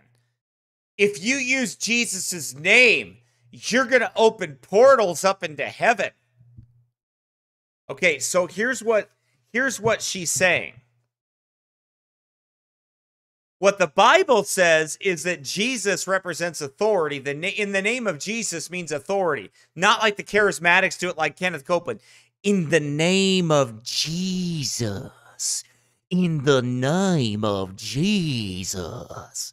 No, that's a that's a blasphemous little devil, is what that is. That's who that is. That's that's what that is. They're using using Jesus' name like some kind of talisman. Jesus' name is according to the will of God. That's what that means. When I use the authority, it's the authority of God. It's the will of God. It is it is giving you power of attorney and his power from heaven will come upon you. I've seen that happen many times where even calling upon the name of the lord all of a sudden a deliverance portal will open up and freedom oh will- that's that's a new a new portal. A deliverance portal will open up. Did you know that that that if you say it right if you say jesus' name right uh a deliverance portal will open up? Oh Okay. will come. And another thing that can open up the portal is, of course, the Word of God, because the Word is eternal. In- oh, and the last thing that'll open it up is God's Word. I mean, that's the last thing. I mean, it wouldn't be the first thing; it'd be be the last thing in the heavens. And it and it and it's a light unto our path. It makes a way for us when we proclaim the word. It, it, it causes light. And that light comes from the glory presence of god. And the word that is jesus christ is released. It connects to the word that you are decreeing. So oftentimes when i'm doing decrees of the word of god and we've got lots of decrees on my ministry site just go to patricia king. Oh, and then if you just decree things, you would understand. I by the way, when you go to her website, she has decrees for children to make. For you to be in the glory of God. And then one more that I'll give you today is is tongues, is the gift of tongues. that I've been Oh, so there by the Spirit to pray in tongues furiously and much in these last few few days or so. Well, actually a few weeks now. And I just want to encourage you to pray in tongues much because you don't know what you're praying in your understanding. But the Bible says that when you're praying in tongues, when you're speaking tongues, you're actually releasing the mysteries. You're speaking the mysteries of heaven. You are connecting to that to that realm of the eternal glory that isn't in the mind of man yet. It's it's the spirit connects to that realm. So when you're praying in tongues, oftentimes I felt after a season of praying in tongues, like especially after an hour or so, all of a sudden I feel a realm opened up. So an hour of praying in tongues. Not praying for lost people to be saved, not praying for forgiveness of sins, not praying for your family, not praying for the needs of others, not praying for your country, not praying for your brothers and sisters in Christ, not praying for nope. I'm just praying in tongues. I have no idea what I'm saying. I'm just flipping my tongue at 400 miles an hour, saying absolutely nothing. And I'm surprised that I'm strumming up devils and portals. Sure. Why wouldn't you open up some portals? Sure, you would. Why wouldn't you open up portals?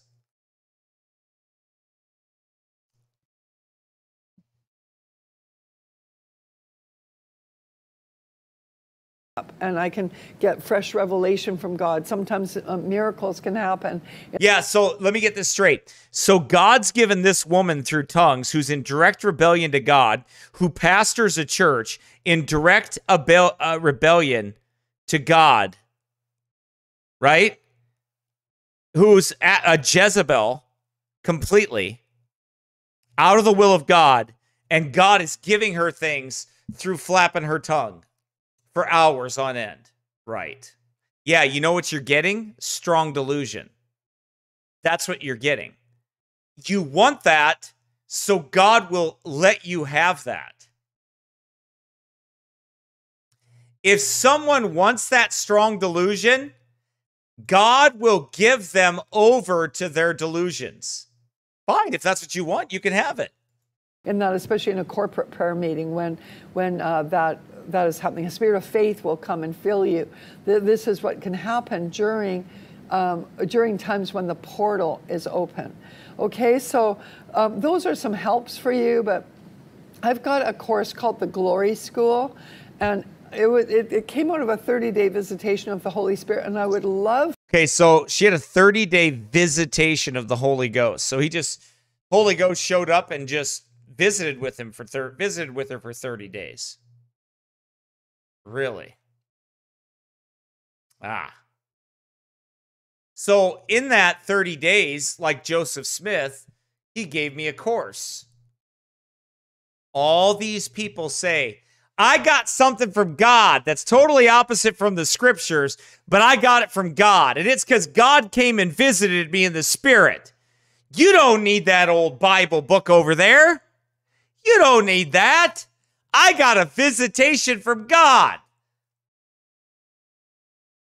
I got a word of knowledge. I got a word of knowledge. I got a word of knowledge. Sure, you do. For you to to engage in that school because they'll teach you the foundations from the Word of God all the way to ask how to ascend, how to descend, how to um, have an angelic activity. And go to patriciakinginstitute.com, and we have many courses there. We have courses on how to. Okay. Now, um,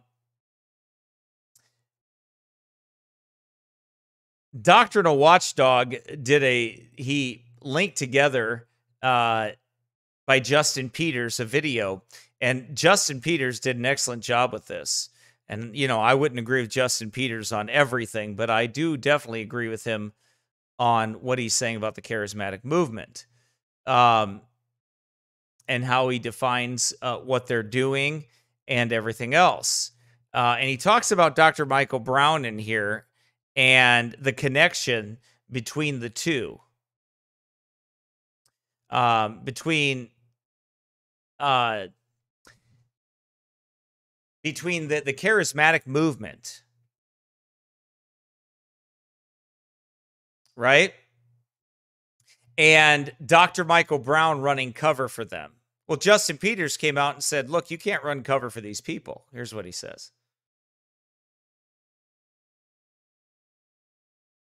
Hello, ladies and gentlemen. My name is Justin Peters. I hope that this finds you and yours doing well, and I want to thank you for joining me. Yesterday, I received an email from Dr. Michael Brown, and in this email, he uh, gave me a little excerpt, video excerpt from one of his recent programs uh, in the line of fire, in which he extended to me an invitation to have a public discussion with him about divine physical healing. He noted that he has offered to debate me before in years past on uh, the continuance or lack thereof of the apostolic gifts, the sign gifts. Of course, Dr. Michael Brown is a charismatic and he believes that all of these gifts continue. I, as a cessationist, believe that the apostolic gifts, and only the apostolic gifts, by the way, have, have ceased tongues, interpretation of tongues, miracles, and physical healing. Uh, and, and he rightly said that I've declined that invitation, and, and I did. I, and I did so for a number of reasons, not the least of which is that that debate has been done. He's already had that debate uh, with Dr. James White, and so I didn't really see much point in going over that again. Uh, we have very different views on that issue, but he's had that debate before. But as best I understand it, uh, this new invitation is not a debate. Uh, I think he wants to have a, a, discussion about physical healing. So he extended this invitation to me publicly on his program in the line of fire and also on Twitter, which I find a little bit ironic because he has blocked me on Twitter. As best I understand it, uh, he's blocked me from uh, because of what some others have said in my defense that he took issue with, I guess, but as uh, I don't think really what I have said myself, as best I understand it. But uh, at any rate, I did find it a little bit odd that he put this uh, invitation to me up on Twitter when I'm blocked from his Twitter. But let me, I do have a screenshot of it someone sent to me. So uh, let me read this to you. In his tweet, he says, Here's my practical appeal to Justin Peters. Let's discuss the question of divine healing together in a public setting from a pastoral and biblical perspective. Why not? Well, uh, Dr. Brown, I'm going to have to respectfully decline your offer to do this. And the primary reason for declining your offer is that one word that you yourself used pastoral.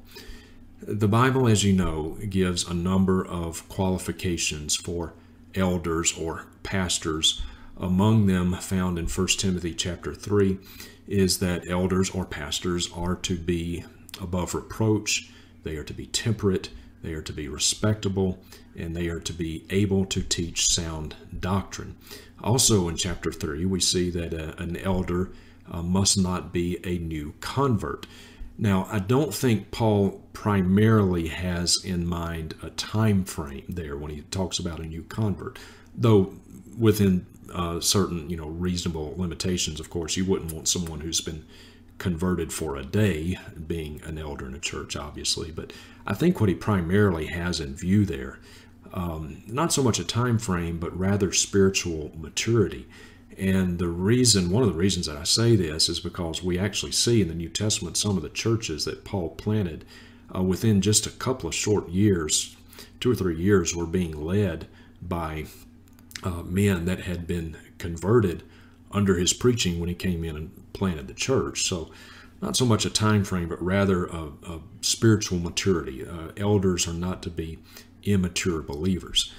And we also know from Scripture that one of the marks of a mature Christian is a discerning Christian. You know, we see this in Hebrews chapter 5. Uh, one cannot be a mature Christian, a mature believer, and lack theological, spiritual discernment at the same time. And so uh, that is another one of the qualifications. And, and there also uh, in Titus chapter 1, uh, Paul in his letter to Titus, he reiterates many of these same qualifications, uh, including being able to teach sound doctrine, as he said in 1 Timothy chapter 3. So he reiterates that, but he adds this too able to teach sound doctrine and to refute those who contradict. And Dr. Brown, as you know, one of my chief criticisms of you is that uh, you have been unwilling to call out by name the most egregious, the most brazenly obvious false prophet. Now, now the reason I'm playing this is he's going to get into some things that these people that Michael Brown is a gatekeeper for, these charismatics, and the things that they're teaching and they have taught. Very dangerous, perverted things, according to the scriptures. It's heretics and charlatans in your own movement, the charismatic movement. Just a few examples of this. Uh, you have recently referred to Kenneth Copeland as your brother, your brother in Christ. Kenneth Copeland is um, obviously a false prophet. He has offered and uttered many, many false prophecies. He has uttered some of the most jaw dropping heresies that you could even imagine, uh, just brazen, brazen heresies. And as if that were not enough, he compounds the error not only by teaching these, these blood curdling heresies, but actually ascribes God as the source of these heresies. Uh, he's guilty, of course, of teaching blatant and egregious prosperity theology. And I will say, in fairness, that you do you have publicly said you do not you do not agree with some of the more extreme teachings of prosperity. But but nonetheless, uh, Kenneth Copeland is a false prophet by every biblical criterion of the term. If if Kenneth Copeland is not a false prophet, then the term truly has no meaning, and and yet you call him your brother in Christ. Uh, you also, uh, it's very well known that you are um, um, close friends with Sid Roth. He's a close personal friend of yours. Sid Roth, on his program entitled It's Supernatural, uh, has just the most Looney Tune, wingnut people on his program. I mean, just lunacy on his program. Uh, he has uh, recently had a lady on his program who claims that when she plays her violin, it's so anointed that people age in reverse. Uh, he regularly has people on his program who claim to get dreams and visions from God, and uh, they shuttle back and forth to heaven. If uh, and one of the mo- more shocking things that I've seen on Sid Roth's program was just last year in uh, February of 2018, and uh, Sid Roth is reenacting a tale from being told by Smith Wigglesworth's granddaughter. Now listen to this, because this is um this is really heavy. Uh, what what Smith Wigglesworth did. A, a tale, a, an account that supposedly happened in Smith Wigglesworth's ministry, in which uh, Smith Wigglesworth was presented with a baby um, by a young couple, their, their little baby who was sick, and Smith Wigglesworth claims that God told him to throw the baby, two month old baby, throw the baby against the wall, and did so. And Sid Roth reenacts this. And when the baby hit the wall, it fell to the floor, of course. And then Smith Wigglesworth went up and kicked the baby like a soccer ball. Uh, this is this is one of your friends. I mean, it, it, you you cannot I, honestly, if if my life depended on it, I could not come up with nuttier and more disturbing claims than what is regularly paraded on Sid Roth's program. It's supernatural. Okay, so he basically, I mean, and I agree with what he's saying. Why why would it even be worth, you know, talking to somebody like that about when they're like that, right? Um, now, I'm not going to show you the whole book here because I purchased this book from David Cloud. He gives a great portion, many books away free. But um you know, so I I appreciate that and I'm grateful for his ministry. That's wayoflife.org. Go buy his encyclopedia. Um the digital version if you like. It's like 10 bucks or the or buy the hardback version. I don't know how much that is. Any of his books you can download, you can pay for. They're very inexpensive. But I would I would recommend buying many of those. His history of the Pentecostal movement.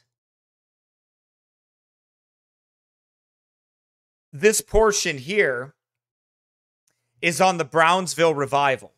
Dr. Michael Brown, who's the gatekeeper for people like Patricia King and other charismatic heretics. Um, got their founding from he got his founding from the Brownsville Assembly of God revival. That's where he became popular. Okay. Now, here's the thing. Because of that, uh, I want to read you the history of what went on there at the Brownsville revival. Okay. So we get a good understanding of everything that took place. And who are these people? In January, a Pentecostal evangelist named Steve Hill was on his way back to the States for a missionary trip. Stopping over in London, he stayed with a charismatic Roman Catholic couple who opened their home for visitors.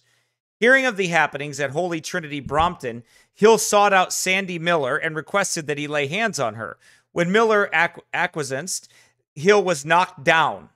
Six months later, on June 18th, 1995, Hill was preaching in the Brownsville Assembly of God in Pensacola when the Laughing Revival broke out. In what would become perhaps the greatest arena, its greatest arena. So, in other words, the greatest thing, the greatest arena for the Laughing Revival. You don't see a Laughing Revival in the Bible. When people get close to God, they're broken over their sin. Their hearts are broken. They're brought to a broken and a contrite spirit. Oh God, thou wilt not despise. But these people in their charismatic Pentecostal revivals are yucking it up. And Michael is the same way. Dr. Michael is the same way. That's where he got to start from. Six months later, that happened. The revival was anything but spontaneous. For several weeks prior to June 18th, many members from the Brownsville Assembly of God had traveled to the Toronto Airport Vineyard Church to participate in the Laughing Revival. These participants included the worship leader Lindell Cooley, which I don't think is related to me, by the way, and John Kilpatrick. Also, a film featuring the Toronto Blessing had been shown in the Brownsville Assembly of God. Though the Pensacola leaders might say they disagreed with some of the things happening in Toronto, they accepted one another as co participants in the same Holy Spirit revival. John Arnott visited Brownsville in February of 96 and was introduced by Pastor Kilpatrick and gave a testimony to the congregation. Afterwards, Arnott laid hands on anyone who desired his ministration and was mobbed. The visit was described in a report placed on the internet by Kathy Wood, a member of Brownsville's ministry team. John Kilpatrick describes his initiation into the outpouring in June 1995. He said he fell to the floor and lay there for almost four hours. When I hit that floor, I, it felt like I weighed 10,000 pounds. I knew something supernatural was happening. Okay. What do you think? Do you think so far that sounds like something biblical? That Pastor Michael Brown, Dr. Michael Brown, excuse me, should have been a part of? Well, he was one of the ringleaders of it. Right? The following is a description by one of the church members at Brownsville Assembly. Pastor Kilpatrick was slain in the spirit for the first night and was out for several hours. For the first two weeks or so, he couldn't do anything in church. God's presence would come upon him so heavily that he couldn't move. His wife Brenda had been having this happen to her ever since she went up to Toronto. Several nights, people have had to drive them home and help them inside the house. And here's where they love the Baptist rub because they love to hate Baptists. Are you ready? Even the neighbors asked what was going on. And one Baptist lady came because her interest was piqued when she kept seeing them drag past her in the house during the middle of the night. Even the last week, this happened to him again. That was an email message from Beth McDuff, McDuffie to Richard Riss, July 30th, 1995, The History of the Worldwide Awakening. Kilpatrick told of trying to drive while in the drunken condition and running into garbage cans and backing into another automobile.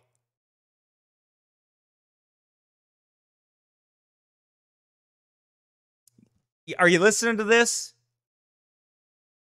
Are you listening to this? Listen to what they're saying.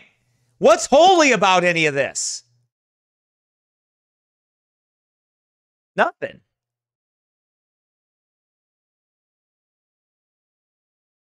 Men in the church had to haul Kilpatrick out of the auditorium in a wheelchair because he was too drunk to walk.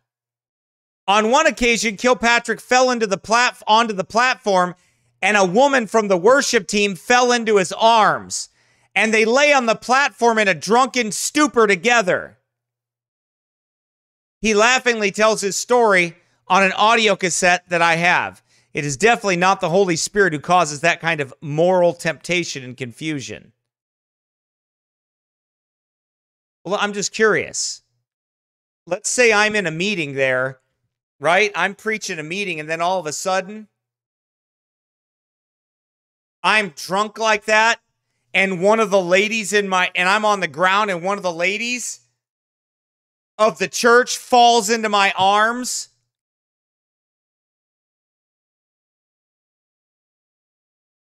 Dr. Michael Brown, really? Really? Really? That's appropriate behavior?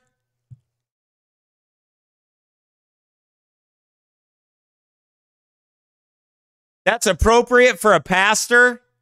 You're saying that's the Holy Ghost?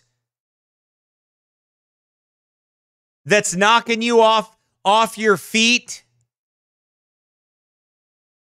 That's the Holy Ghost. Well, how come that spirit's not making you holy?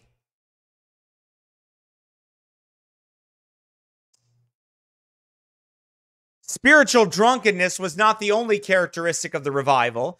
There was also spiritual jerking.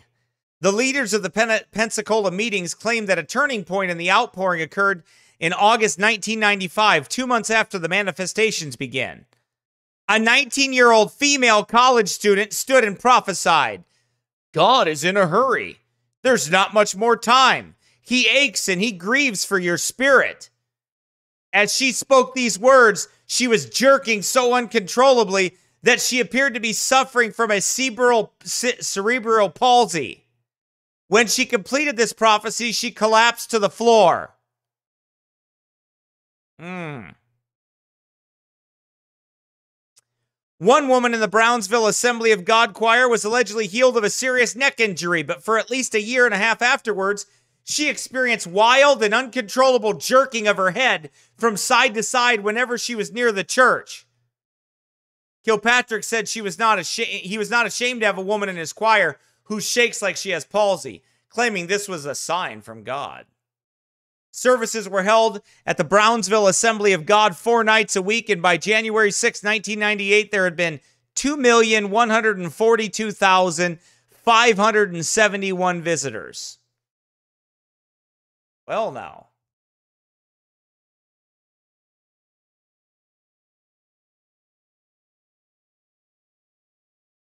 The, the laughing, what were the results of the laughing revival? The revival does not seem to have helped most of the church as it affected.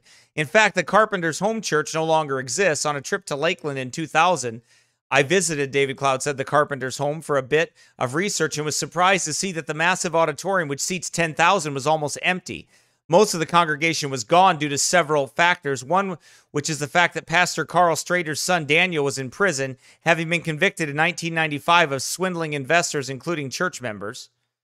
In 2005, Carpenter's home church sold its property to Without Walls International Church, which moved its headquarters from Tampa. By 2011, the church building uh, again sat vacant after Without Walls International husband and wife team divorced and the organization went bankrupt. In 2015, it was announced that the Carpenter's home church building would be uh, demolished to wait, make way for a retirement center. At Brownsville Assembly of God, the drunkenness and shaking are gone, and the church faces the stone sober reality of having fewer members than before the revival came.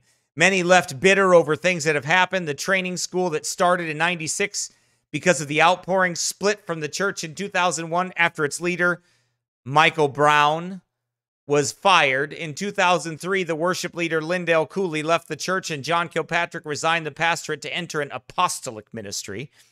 He was replaced with the husband wife pastor team Randy and Susan Feldschau, followed by Evon Horton. With an attendance of only about 800 on Sunday, most pews are empty in the 2000 the 2200 seat sanctuary while the church's new 2600 seat auditorium built on revival dreams is used for a gym, community classes and storage. As for 2012, the small congregation continued to struggle to pay off the 11.5 million in debt. Church of Famed Brownsville Revival struggles. Okay, well, that was all the Pensacola outpouring, right? That's the doctrines of devils. And that's what they did. That's who they are, friend. That's who they are. Michael, Dr. Michael, there.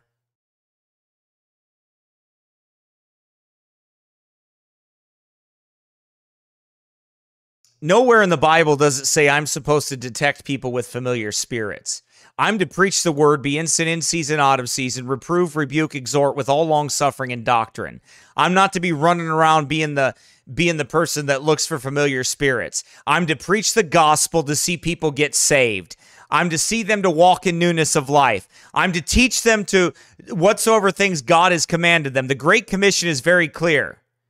It says, Go into all the world and preach the gospel to every creature, baptizing them in the name of the Father, the Son, and the Holy Ghost, teaching them to observe all things whatsoever I have commanded you. And lo, I am with you always, even to the end of the world. Running around chasing devils and false prophets and are de- chasing devils and familiar spirits and all those things are stuff for chick comics. It's living for God day in and day out, raising my family for the Lord, training up soldiers to raise their families for the Lord, training up fathers and mothers to follow the Lord Jesus Christ. Church meetings are about gathering around the Word of God. Church meetings are about, about the saints of God coming together, praying together, seeking God's face together, seeing their children get saved, seeing churches started and the gospel preached all over the known world. This stuff is cartoonish. It's Satan's great distraction. It's for people to focus on signs and wonders and looking for devils around every corner as an excuse not to live for God. you know what you need? You know what people need?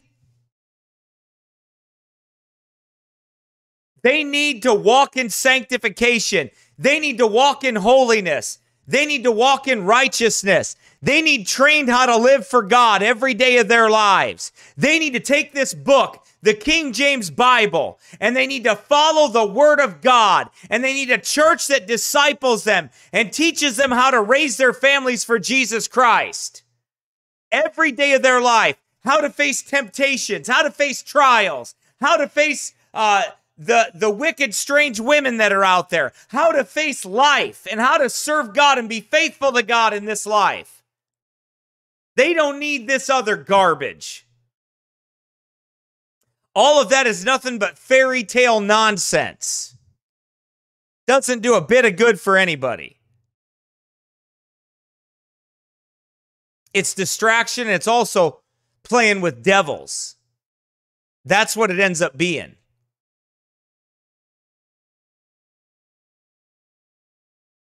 God's people need discipled in the book, not discipled in visions, not, disci- not discipled in visions, not discipled in in uh, extra biblical revelations, in in sign gifts and tongues and any of that stuff. Nowhere in the Bible does it say that we're supposed to do that. But that's what people want to do. Why? Because it's easier to do all those things than to live for God. It's easier to do that than to walk in sanctification. It's more fun to do that stuff. It's more fun to have to feel like you have superpowers.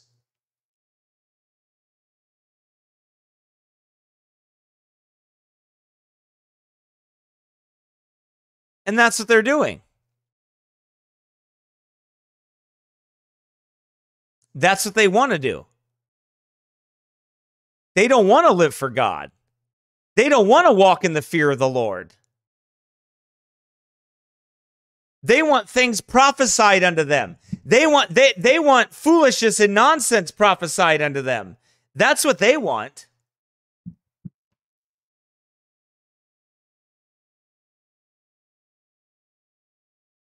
That's what they want to do. They don't want to live for God. They don't want to walk with God.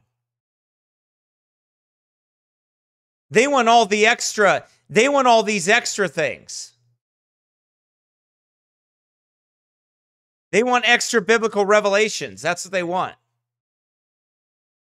And they lust after them. And guess what? God's going to give these charismatics and is giving these charismatics and Pentecostals exactly what they want their strong delusion. he is giving it to them. And they are getting it. And they're going to have it. All right, everybody, I'm done. I will get a um, song going here.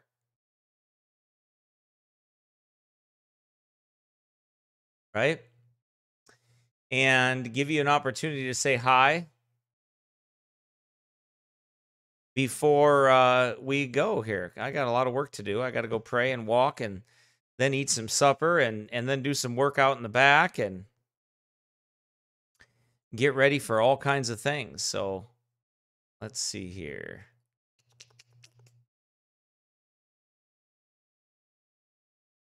Let me find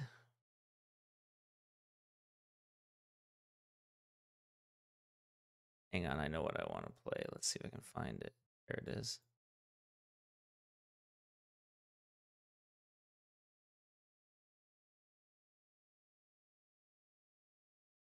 Oh, I lost it. Hold on. There it is.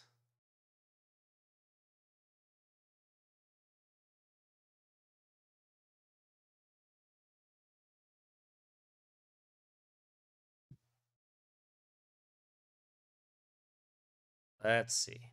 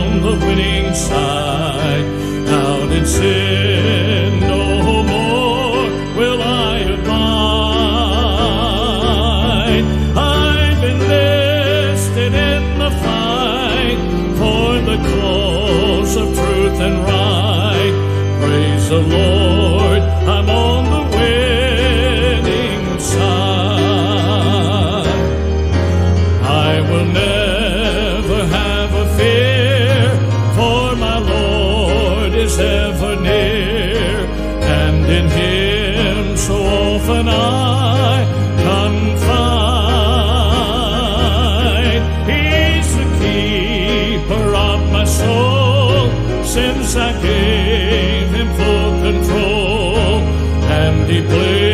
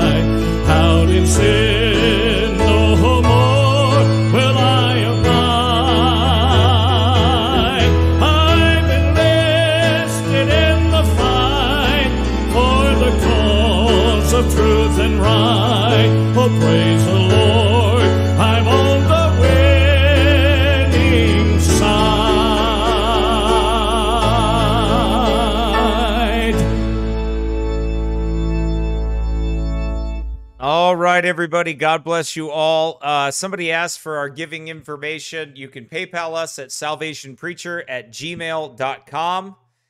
And, uh, or you can do Venmo. We do that. You can do, uh, you can mail us something if you like. Here's our information at the bottom of the page here. It is 1030 South Highway 3, Northfield, Minnesota, 55057. Um,